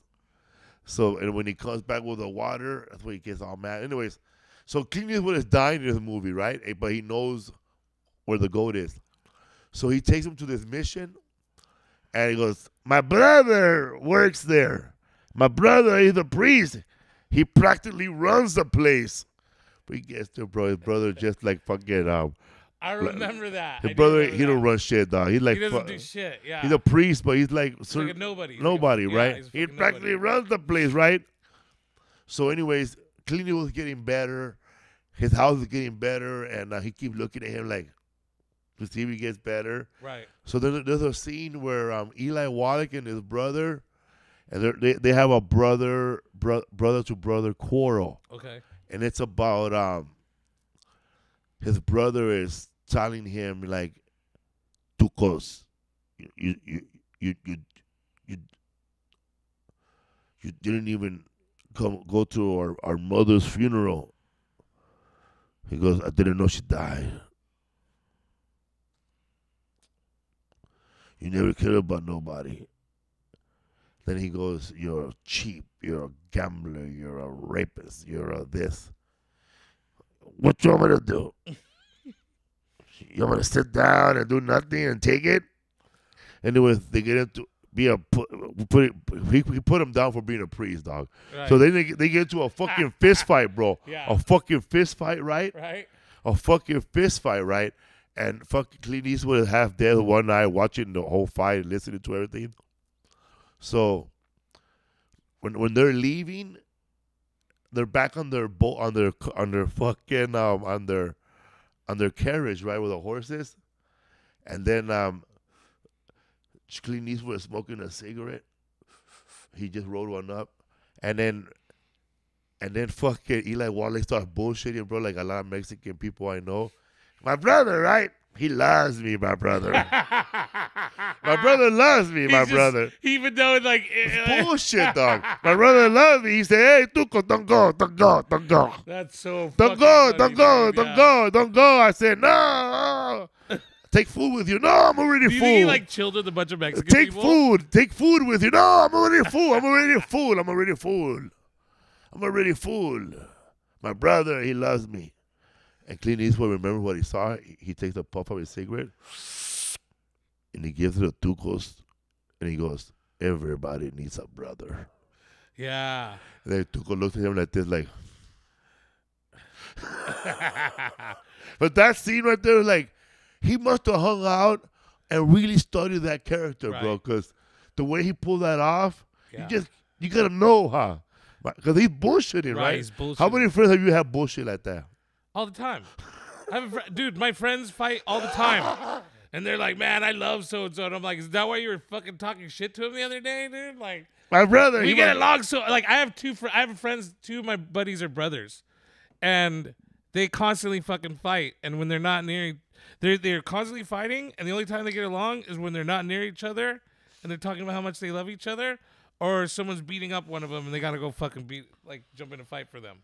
All of a sudden, it's like my fucking brother. That's Yeah, man. Even though uh, Eli Wallach plays a very um, stereotypical Mexican of the of that time, it was a good one, bro. And um, I, I wish it, it was good, bro. He didn't play. A, it, I, I I didn't see any, any you were anything. impressed by it. I was weren't like impressed. you didn't feel like slided by. Because I thought he was Mexican too. Because my dad Right. told me he was, he was Spanish, so I kind of felt proud, you know. Right, yeah. But that's what I mean, bro. Like to see like somebody was even though with your brown brown skin in a movie, you know, holding it down, man. right. You feel good, eh? Like, good, hey, you know what? If he could do it, I could do it. Well, self representation is really Yeah. important, and that's the thing, man. Is like, and that, I mean, again, we'll talk about it when we get to the to it, but It is, bro, because um, representation very important. Because um, I, I, I had a meeting with uh with uh with somebody last week about a show, and they were telling me that they're um they just finished producing uh, uh the documentary or on the Black Barbie. oh, okay, You know, there's a- the, I thought the Black Barbie came around during the '60s, but she came around during the '80s, like during the during Miss America. Okay, Yeah, we have a Mexican um. do we bar- have a Mexican? Barbie? Yeah, man, she's called Barbacoa.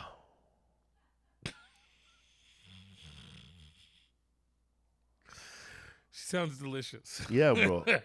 she has wet legs. I don't, She, I don't know bro, bro, she comes, she comes, bro, with a little ass. a She, she she don't have a, a she don't have a, a Barbie beach house, but she has a little a little van, bro, where she sells tacos out of it. it's called Tacos La Güera. She sells them at the uh, at the Santee Alley Market Yeah, bro, Tacos La Güera. with like banking on it. Yeah, um, Uh, Like, bro, like it's interesting to me the im- eh, rep- representation. Like, like if you saw a movie, bro, yeah, where a dude has a big ass beard right, and he's bald, and he's not a terrorist right. or he's not a Viking, He's not a bad guy. He's a good dude. he's not a gladiator. right. I would He's- love to he's see that. Oh, nothing, bro. He has, he has no piercings. Right, He's just a normal dude that happened to have a beard, right.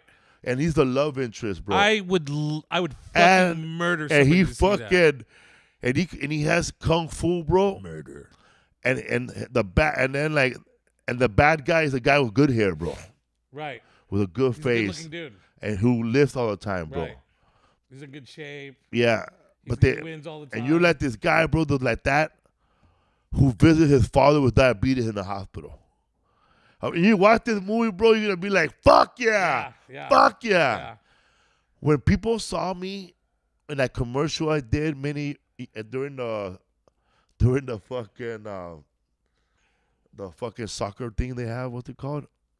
Oh, The World uh, Cup. World Cup. Yeah. When I did the World Cup, I was like, you know, my long hair. I was Right. doing a, a Honda Fit commercial, Okay. bro. People that I would meet, ho- run up to paisas or anybody do with my body stature Yes. and look at me, and go, "Hey, I saw you, man. How could I do it?" Right.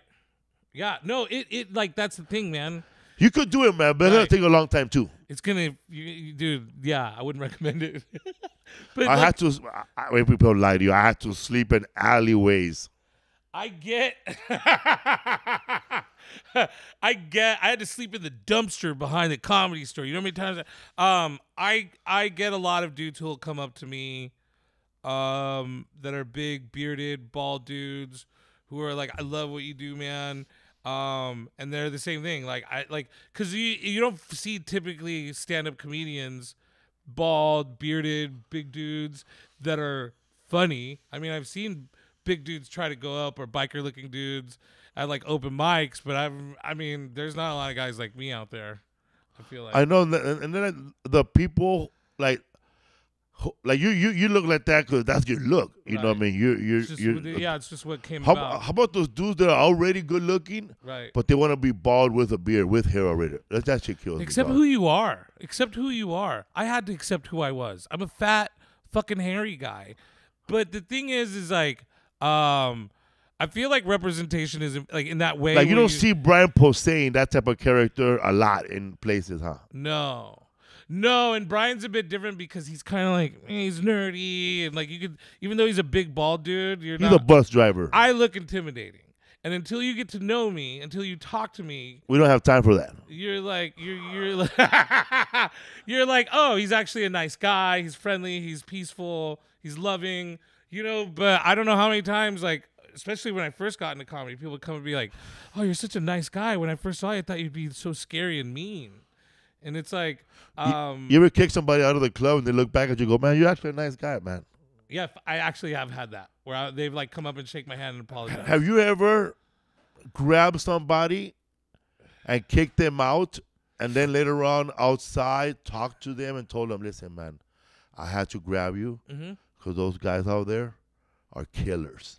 Oh, we've had dude. I had to, uh, the only way I have, I, I- this way, I look like I did my job and, and kicked you out and they know that you ain't going to come back. Hopefully you're not to come back, right? definitely. And um, those guys, I don't want you to get your ass beat.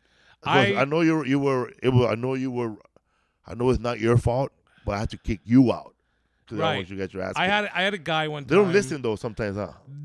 Some of them don't, but this one particular case, I had this guy who this girl and she was a friend of mine actually um, was beating up his girlfriend in front of the bar, beating the fuck out of her, and nobody was doing anything about it. And the guy came in and he punched he punched my friend like once and she fell off, gave her a big old black eye, got his girlfriend and took off.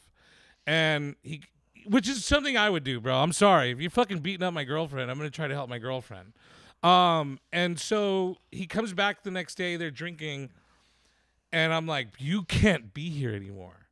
Because they're gonna kill you if they see you here. Like you can't and so like in front of everybody I kicked him out and, and treated him like shit. But I think he knew, like, I think we made the agreement before that I was gonna do that, so it made him look good, and, and or it made it kept him from getting the fucking shit kicked out of him. Roadhouse. Shit, There's It a new Roadhouse movie, bro.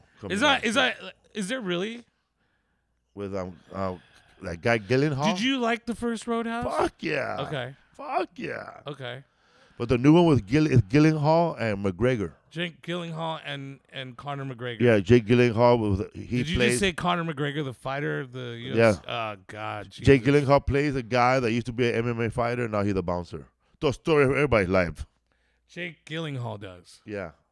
I don't see Jake Gyllenhaal as a threatening person. Like Bro, Patrick Swayze didn't look threatening too, bro. that's true. With a little ballerina fucking fools up. That's true though. He was.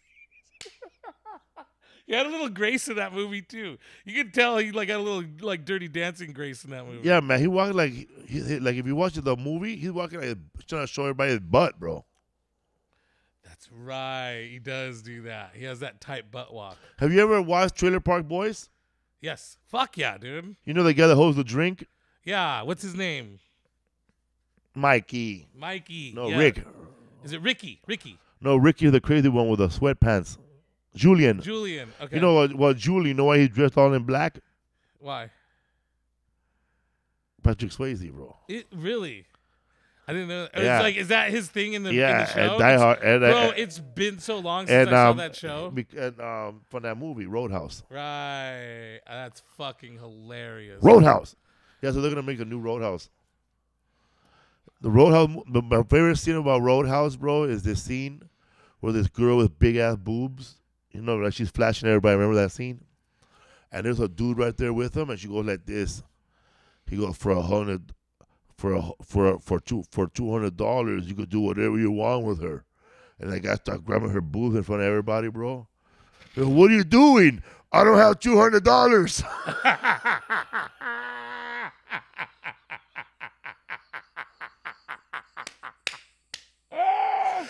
ah, that movie's a classic, bro. It was a classic. I don't have two hundred dollars. I watched that movie. I was too young to see a movie like that, but I was at my uncle's. Everybody was asleep, and I put on HBO and I watched that movie.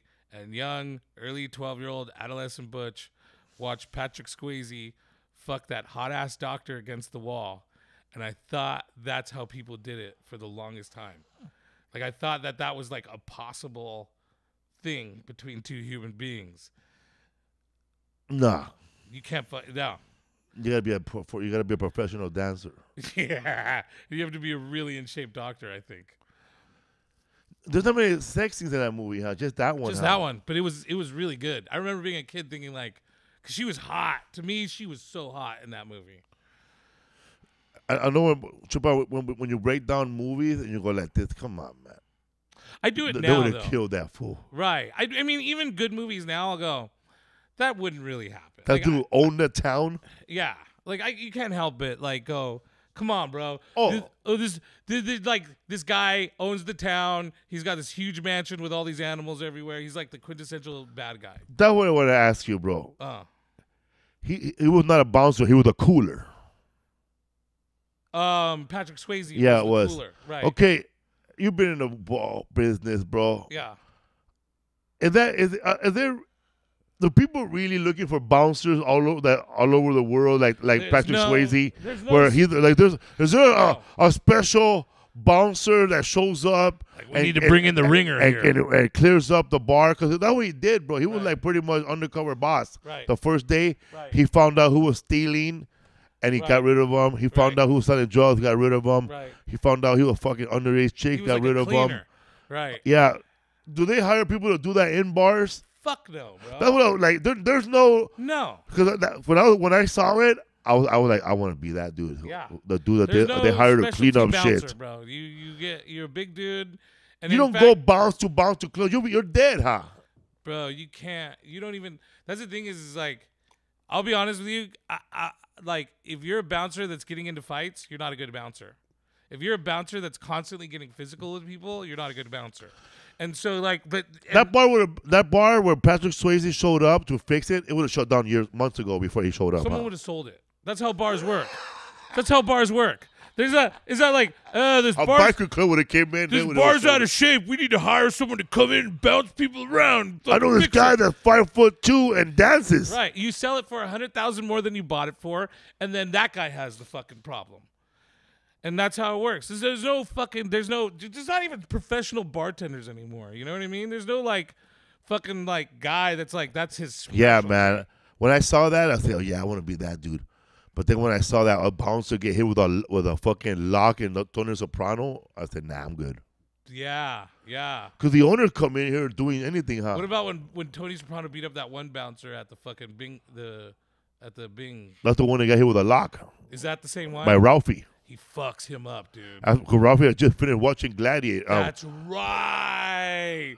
That's right. and, he, and he was all coked out, bro. He was. He killed him, right? He, when, no, he Yeah. came with a lock. He just so fucked his eye up. Right. That guy got fucked up all the time by people, dude.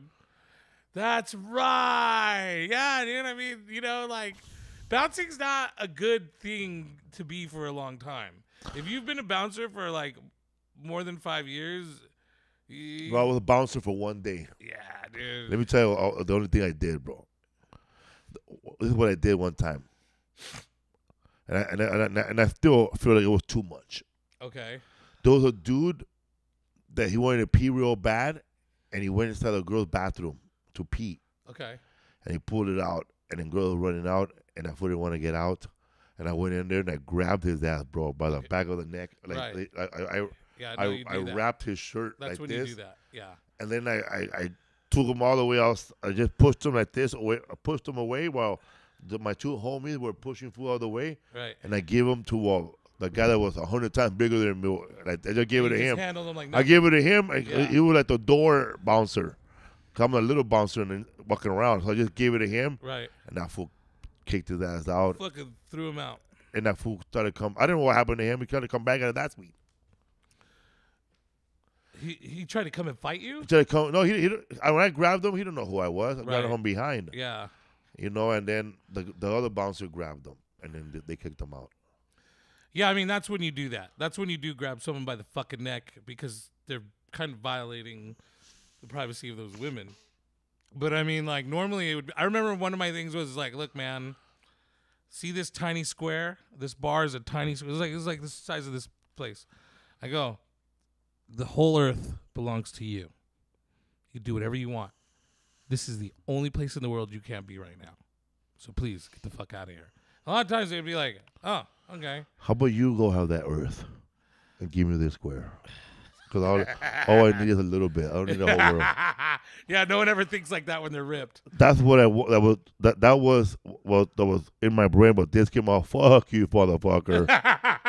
I don't play four square. Right. but I still, you know, I mean, like you still have to like get in a fight every now and then. Remember in, the- in fucking Roadhouse, what did the guy go tell me? Call me uh, call me gay. Are you? That's that's fucking movie is so classic. Only in movies, man, can you hit somebody's head on a, on a fucking table and the table breaks and that guy could still walk away. Yes.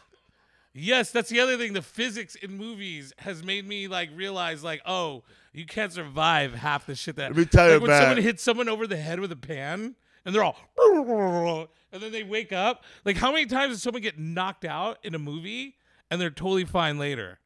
You know, and it's like, bro, if you really got knocked out in fucking real life, you're suffering from hemorrhages and concussions, and you should go to the doctor right away. Even the guy who knocked you out, man, he's he's fucking he has a broken wrist. He has a broken. His fucking fist is all fucked up, dude. But it's like that's the thing is like movies made me think like, oh, physical fighting has no long term repercussions.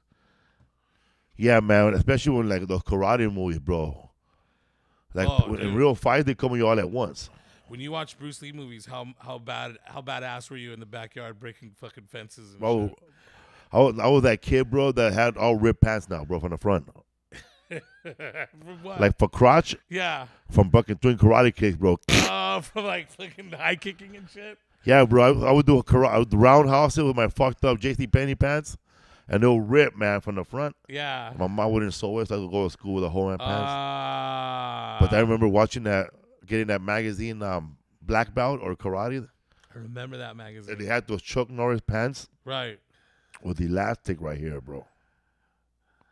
Oh, that's yeah. I remember those. I, I thought about I need those pants, but I'm thinking now, as like as an adult, How stupid was I to think I need those pants? And how stupid are those pants? Oh, Like, what the fuck you need?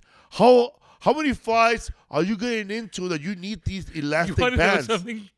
The moment you talked about those pants in my mind, I went, I'm an adult now. I can afford those pants. I'm going to look up online after I get off this podcast and buy those pants. I will wear those pants only to pick shit off the floor, and then my fucking butt won't show away. comfortable. Think about how comfortable they would be right now if you could walk around in like Chuck Norris pants. Man, fuck Chuck Norris pants. Man, I want a shirt. I, I want a pants that when you fucking bend over, your shirt and everything comes out. Eh? yeah, that's called regular life for me. Yeah, man. When I was I, was- when I was a kid, I was stupid, bro. Like I would see like people like in movies wear tennis shoes and they're running fast, and I figure oh, that's what I need. The tennis shoes, not working out and eating less. No. That's what I need. The the six million dollar shoes. I need an enhancer. When I was a kid, bro, that's all I wanted, bro. Because the six million dollar man, Steve Austin, he used to wear a red tracksuit with red Adidas. So I was thinking, that's all I need, bro. Right. If I get the red striped Adidas, You're good to go. You're to These fuck everybody I was an idiot, bro. I would get brand new shoes and go, yeah, these are gonna make me run faster. Oh, no. No, bro, my fat ass slowing myself down. Right, yeah. I, that's why I always just buy comfort now. I'm a comfort man. Did your dad take you to the movies when you were a kid? You know what was cool with my dad, bro, growing up, watching movies, and why I like films so much is because my dad was that guy that would see all the blockbusters first, and then once he ran out of the blockbusters, he would start picking the movies at the bottom of the like, like the the movies that you would like the B movies, the two bitters.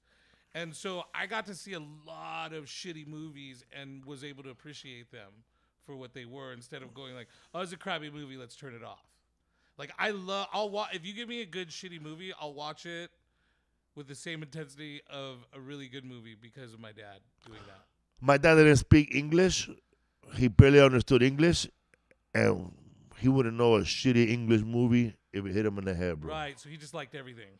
He just liked everything. Yeah. Like I remember watching a movie called Papillon, bro, with Cle- with with. Steve Austin, with Steve Austin, with fucking um, Steve McQueen and Yeah. and um, Dustin Hoffman. Right, that's a great movie. I'm still here. Did you see The Great Escape when you were a kid? Did you watch Yeah. it with your dad? Did you what? Was your dad into John Wayne? Nah, My dad was really into to like John Wayne war movies, cowboy movies, uh, a lot of Clint Eastwood movies growing up. Uh, I mean, anything that was military, we watched the fuck out of it. Um, Star, Star, he like anything science fiction. My dad got me into science fiction as well. My dad was always obsessed with uh, the stars and stuff like that. yeah, my dad never got into Star Wars, No, but he got into um, Dirty Harry. Dirty Harry's a fucking great, another great movie. What about Bullitt? Did you like Bullitt? I never seen Bullitt. Bullitt's a great. That's one of the best chase scenes in a movie. The longest chase scene is the fucking that one or the one in um Ronin. no um the French Connection. Oh, the French Connection's a good one. But the best chase scenes ever in the history of film, in my mind, are Ronin. Have you ever seen Ronin?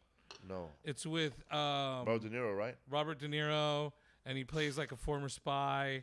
Um, and there's, f- dude, best chase scenes ever in any movie. I, I guarantee you, if you don't think so, you'll be at least what is the top ten? Bro, you ever seen that? It's funny, man. Like you ever like the, my dad like he never like he, he my dad was not like a Brando fan, you know, like Marlon Brando. Okay. Maybe it was before his time. I don't yeah, know. I'm not a big Brando fan. Dude, either. that fool like B- Marlon Brando did a movie called Zapata, right? Viva Zapata. Yes, where he he did. plays a Mexican Zapata. Right. I never seen it. That's w- and we're gonna talk about that on the next I've one. never seen it. It's it, it it's one of those things where you're like, what the fuck, dude? Because it was also How about John Wayne playing that Chinese guy? yeah, dude. Yeah, that's the thing. That's crazy. A- and he played man- what's his name, right? um, Genghis Khan Genghis Khan. Yeah, with blue eyes. right. Bro, they did not give a fuck back then. You know what I mean? And that's the thing is, there's no like push for authenticism or. That's why, like, that. when I saw like Tom Cruise in Shogun, I'm like, come on, motherfucker. Oh, in um, give, uh, give, the Last give, Samurai. give? Jet Li a break. in the Last Samurai. Yeah, that was kind of a dumb movie in that way, but it was a good movie because it was a good story. The Wall. Uh, Have you ever seen uh, 47 Ronin with uh, Keanu Reeves? Never. It's a little more appropriate because he's half Japanese and he's half white, and he plays a half Japanese, half white I thought he was half Hawaiian. samurai. He might be. but Keanu. Keanu. Oh mean, wow. Japanese people in Hawaii. So, but yeah, it's a good. That one's a really good movie in in that way where you're like, oh, like it's an American white dude, yes, but he is half Japanese, and the movie makes sense because it's around that he's that. Where the Last Samurai is like, this shit is just to make fucking Tom Cruise feel better. And it's just to stroke his own ego. So, you know, I mean, but I like again, I I'll you put a fucking movie in front of me, I'll fucking sit and watch it. Except for musicals. Cause fuck musicals. That's why. Wakanda Forever. What do you mean? Oh, I'll just say Wakanda Forever. Oh no, I've never seen that. You I- never seen it? I haven't seen it. You haven't seen the new one, Wakanda I don't Forever? watch it. You No, know, the other you one? know fucking why I don't want to see that movie. Bro, it's crazy. Have you seen it? No, but I, I, me and Lisa saw Wakanda Forever, and we, we walked out of it, bro. Like This is the latest one, right? she started falling asleep, and we started falling asleep too. oh, she was falling. So you didn't walk out because you were offended by it. nah, I wasn't offended. I I'm offended by it. I, I walked away. It's funny, man, but um, when I watched, I you know Doctor Umar. He's a, like a, like a black dude, revolutionary guy. He talks about like the he always he always looks into everything that's going on and everything. Like he goes, like for example, he goes like this. It's it's funny the way America is dealing with the fentanyl epidemic. It's different from No, the, when never they heard of this. When they at the crack epidemic. Why? Because white people are dying. You know, brother, fucking with fentanyl. But during the crack epidemic, it was okay. Shit, you know, that's him. right, right, right. So this fool did this whole thing about Wakanda forever, how the Mexicans gentrified Wakanda. That see, that's okay. I'm mad. I'm mad for a different reason because it's like I feel like Disney was like, well, we need to have blacks and whites have peace in this movie, so they're gonna be cool with the CIA, which is what everybody's enemy is in this country. And then they go, well, who do we get to fight them? The Mexicans. well, you know, can't do Asian people, I guess. Let's do Mexicans. Yeah, you know what? Let's take the stereotypical fucking everlasting battle between fucking blacks and Mexicans and let's put it on a big screen and make superheroes out of it. It's like, fuck you, Disney. Fuck you. Why don't you fucking, dude, do some, like, why don't you do black on black violence or fucking get some, some white people in there or something? Why has it got to be us, dude? Why couldn't we have gotten together and fought the CIA together? Apparently, you never been to Wakanda, right? First of no, all, bro, never been to eh, Wakanda. Wakanda is hard to find if you're not Wakandian, all right? Hard to find. Okay. And they have this me- this I don't know the, what's the name of their power source? They have vibranium, Okay. which is power thing that they use, which is bigger than better than water, better than everything. Where, where they get all their power, all their strength, all their technology, right? Unbreakable. CIA, everybody been trying to steal it and use it to fight wars, but they keep it away from everybody. And it's hard to get in there. Nobody's ever been to Wakanda unless you've been invited, Right. but not no more. Eh? That's the Mexican dude, right? The The motherfucker sneaks in illegally inside Wakanda He has to cross the river.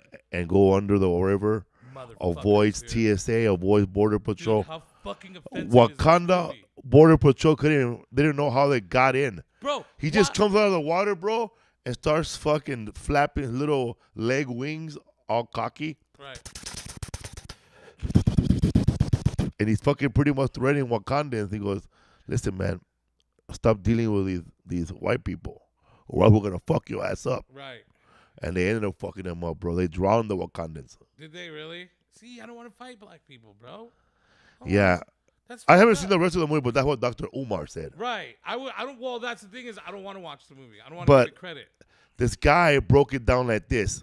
When they when Superman came out, 1940, 1950, whatever year it came out, he was fighting the Nazis in the in the comic book. Right. When Captain America came out, fighting the Nazis. Right. All right. And then when um when fucking um the Marvel Avenger when uh, Mar when um, the X Men came out, supposed to be like you know, they're fighting for the rights of the mutants, which they took away from March, be Martin Luther King Right. and what's his name, right? But then you have Wakanda now, the Black Panther. Right. All right, they're the smartest people in the world. They got vibranium. They could end. They could end all black diseases all over the world. I like this guy. Their enemies are the Portuguese, are the French, or anybody who ever enslaved a black person. Why are they going there and fucking them up? Right. Why are they friends with them? Right. But nah, Hollywood told them, nah, your enemy is Mexicans. Mexicans, bro. and it's fucked up, dude, because we're trying to end that. Like that's the thing is there's like a whole push to be But like Mexicans ain't mad because they ah. happen to be in films. that's the conundrum that we're in. That's the So that's what the guy said. He go like, and I'm listening to it going, oh yeah, oh yeah. Yeah. So the the the, the Wakandans, they're they're they're they're fucking fighting each other, bro. In part one, Black on black violence. And then the second one is black on Mexican violence or Mexican on black violence. in in in Wakanda, in the first Wakanda, bro, black be um black dude, Black Panther, that dude that plays um Apollo Creed and Apollo, that actor Oh, from um, Fruitvale Station, Yeah, yeah, yeah. That guy's a great actor. What's that dude plays. What's Yeah, his Michael name in the movie? Killmonger. He plays Killmonger, bro. Right. His first scene, he goes into a museum and starts taking all the African artifacts. And then he goes, and the, the white lady stops him, his arm. He told her, "Get your hand away from me." Hey, what are you doing stealing these? Oh, the way you guys stole it from my people Right. 200 years ago. And he names the tribe where it belonged from. Right. That you know who you took it from, and he knew the name of where it be come from. And that fool grabbed it, bro, and realize how much power it has that they didn't have, and he started fucking everybody up with that. And then that motherfucker breaks into Wakanda and tells them, motherfucker, we gotta go fuck these motherfuckers up. But nah, he becomes the enemy. He becomes that, oh, you're too loud, brother. Right, dude. We need to get along with these white. Ah. We need to get along with these How white are we not outraged by this shit? Anyway, How so- are we not fucking outraged by So this? this is this is this is the guy speaking, by the way. Not Okay. not these are not my words, but just to tell you what I, Sure, sure, what this sure. guy this brother broke it down. I want to see this guy now. This is good. But it's crazy, like Yeah. but everybody else on the comments, it's only a movie, my brother. No, no, because this is what we're gonna talk about. Because rep- no, because your representation, it's okay to go around and kill each other. This is what we're gonna talk about on the next on the next podcast. Okay, this is and this is a great way to introduce- Latino cinema, by the way. because one of the things that I want to point out is not just all these Latin people in film because that's what everybody else has been doing. Oh, look at oh, he was in this movie and he was in that movie. What I want to also address is how we saw it, how we, we saw how it. affected us and our lives and how we were because in the 80s to me we were fucking drug dealers and we were fucking pimps and we were fucking getting shot by Hunter and fucking Miami Vice and so like like I, I like Getting beat up by Steven Seagal, yeah, Chuck dude. Norris. So it's like, so I, I really want to talk about all that stuff on the next one. I'm so Cool, man. fucking mad from this fucking movie. What's nope? Cut that off. Hey man, um, thank you very much, man. You have fun. Thank you for thank you for coming back. History We're back. We got a couple of more episodes coming up, and then we're gonna dig into some other stuff. And um, I want to thank Butch Escobar from the Bay showing up here, man. Um, My pleasure. you're still doing um, your you, have a gig coming up? Yeah. So February 4th, I'm gonna be at um, uh, I'm gonna be in Fresno. Um, can I look it up? Yeah, look Here we go. Um, I'll be at Fresno. Uh, first uh, Saturday, February 4th. I'll be at the um, I'll be at uh, uh, the Full Circle Brewing Company in Fresno uh, with um, uh, Central Valley Comedy, um, and uh, the with me and uh, my homie Saul Trujillo are gonna be uh, headlining that. What's happening, everybody? Check me out. Um, I don't know when this comes out, but um, there's a movie out right now on Netflix called You People, directed by Kenya Barris, written by Kenya Barris and Jonah Hill, starring um, Eddie Murphy and Jonah Hill and um, Lauren London. So go check that out. Oh yeah, I'm in it. I have a little cameo. Try to find me. It's quick. Did you get to meet uh, Eddie Murphy? Yeah, they made Eddie all? Murphy. How how was that for you? He told me I was a funny motherfucker. Did he really? That's Yeah. fucking amazing, bro. That was badass. That's fucking rad. Thank you, everybody. History for.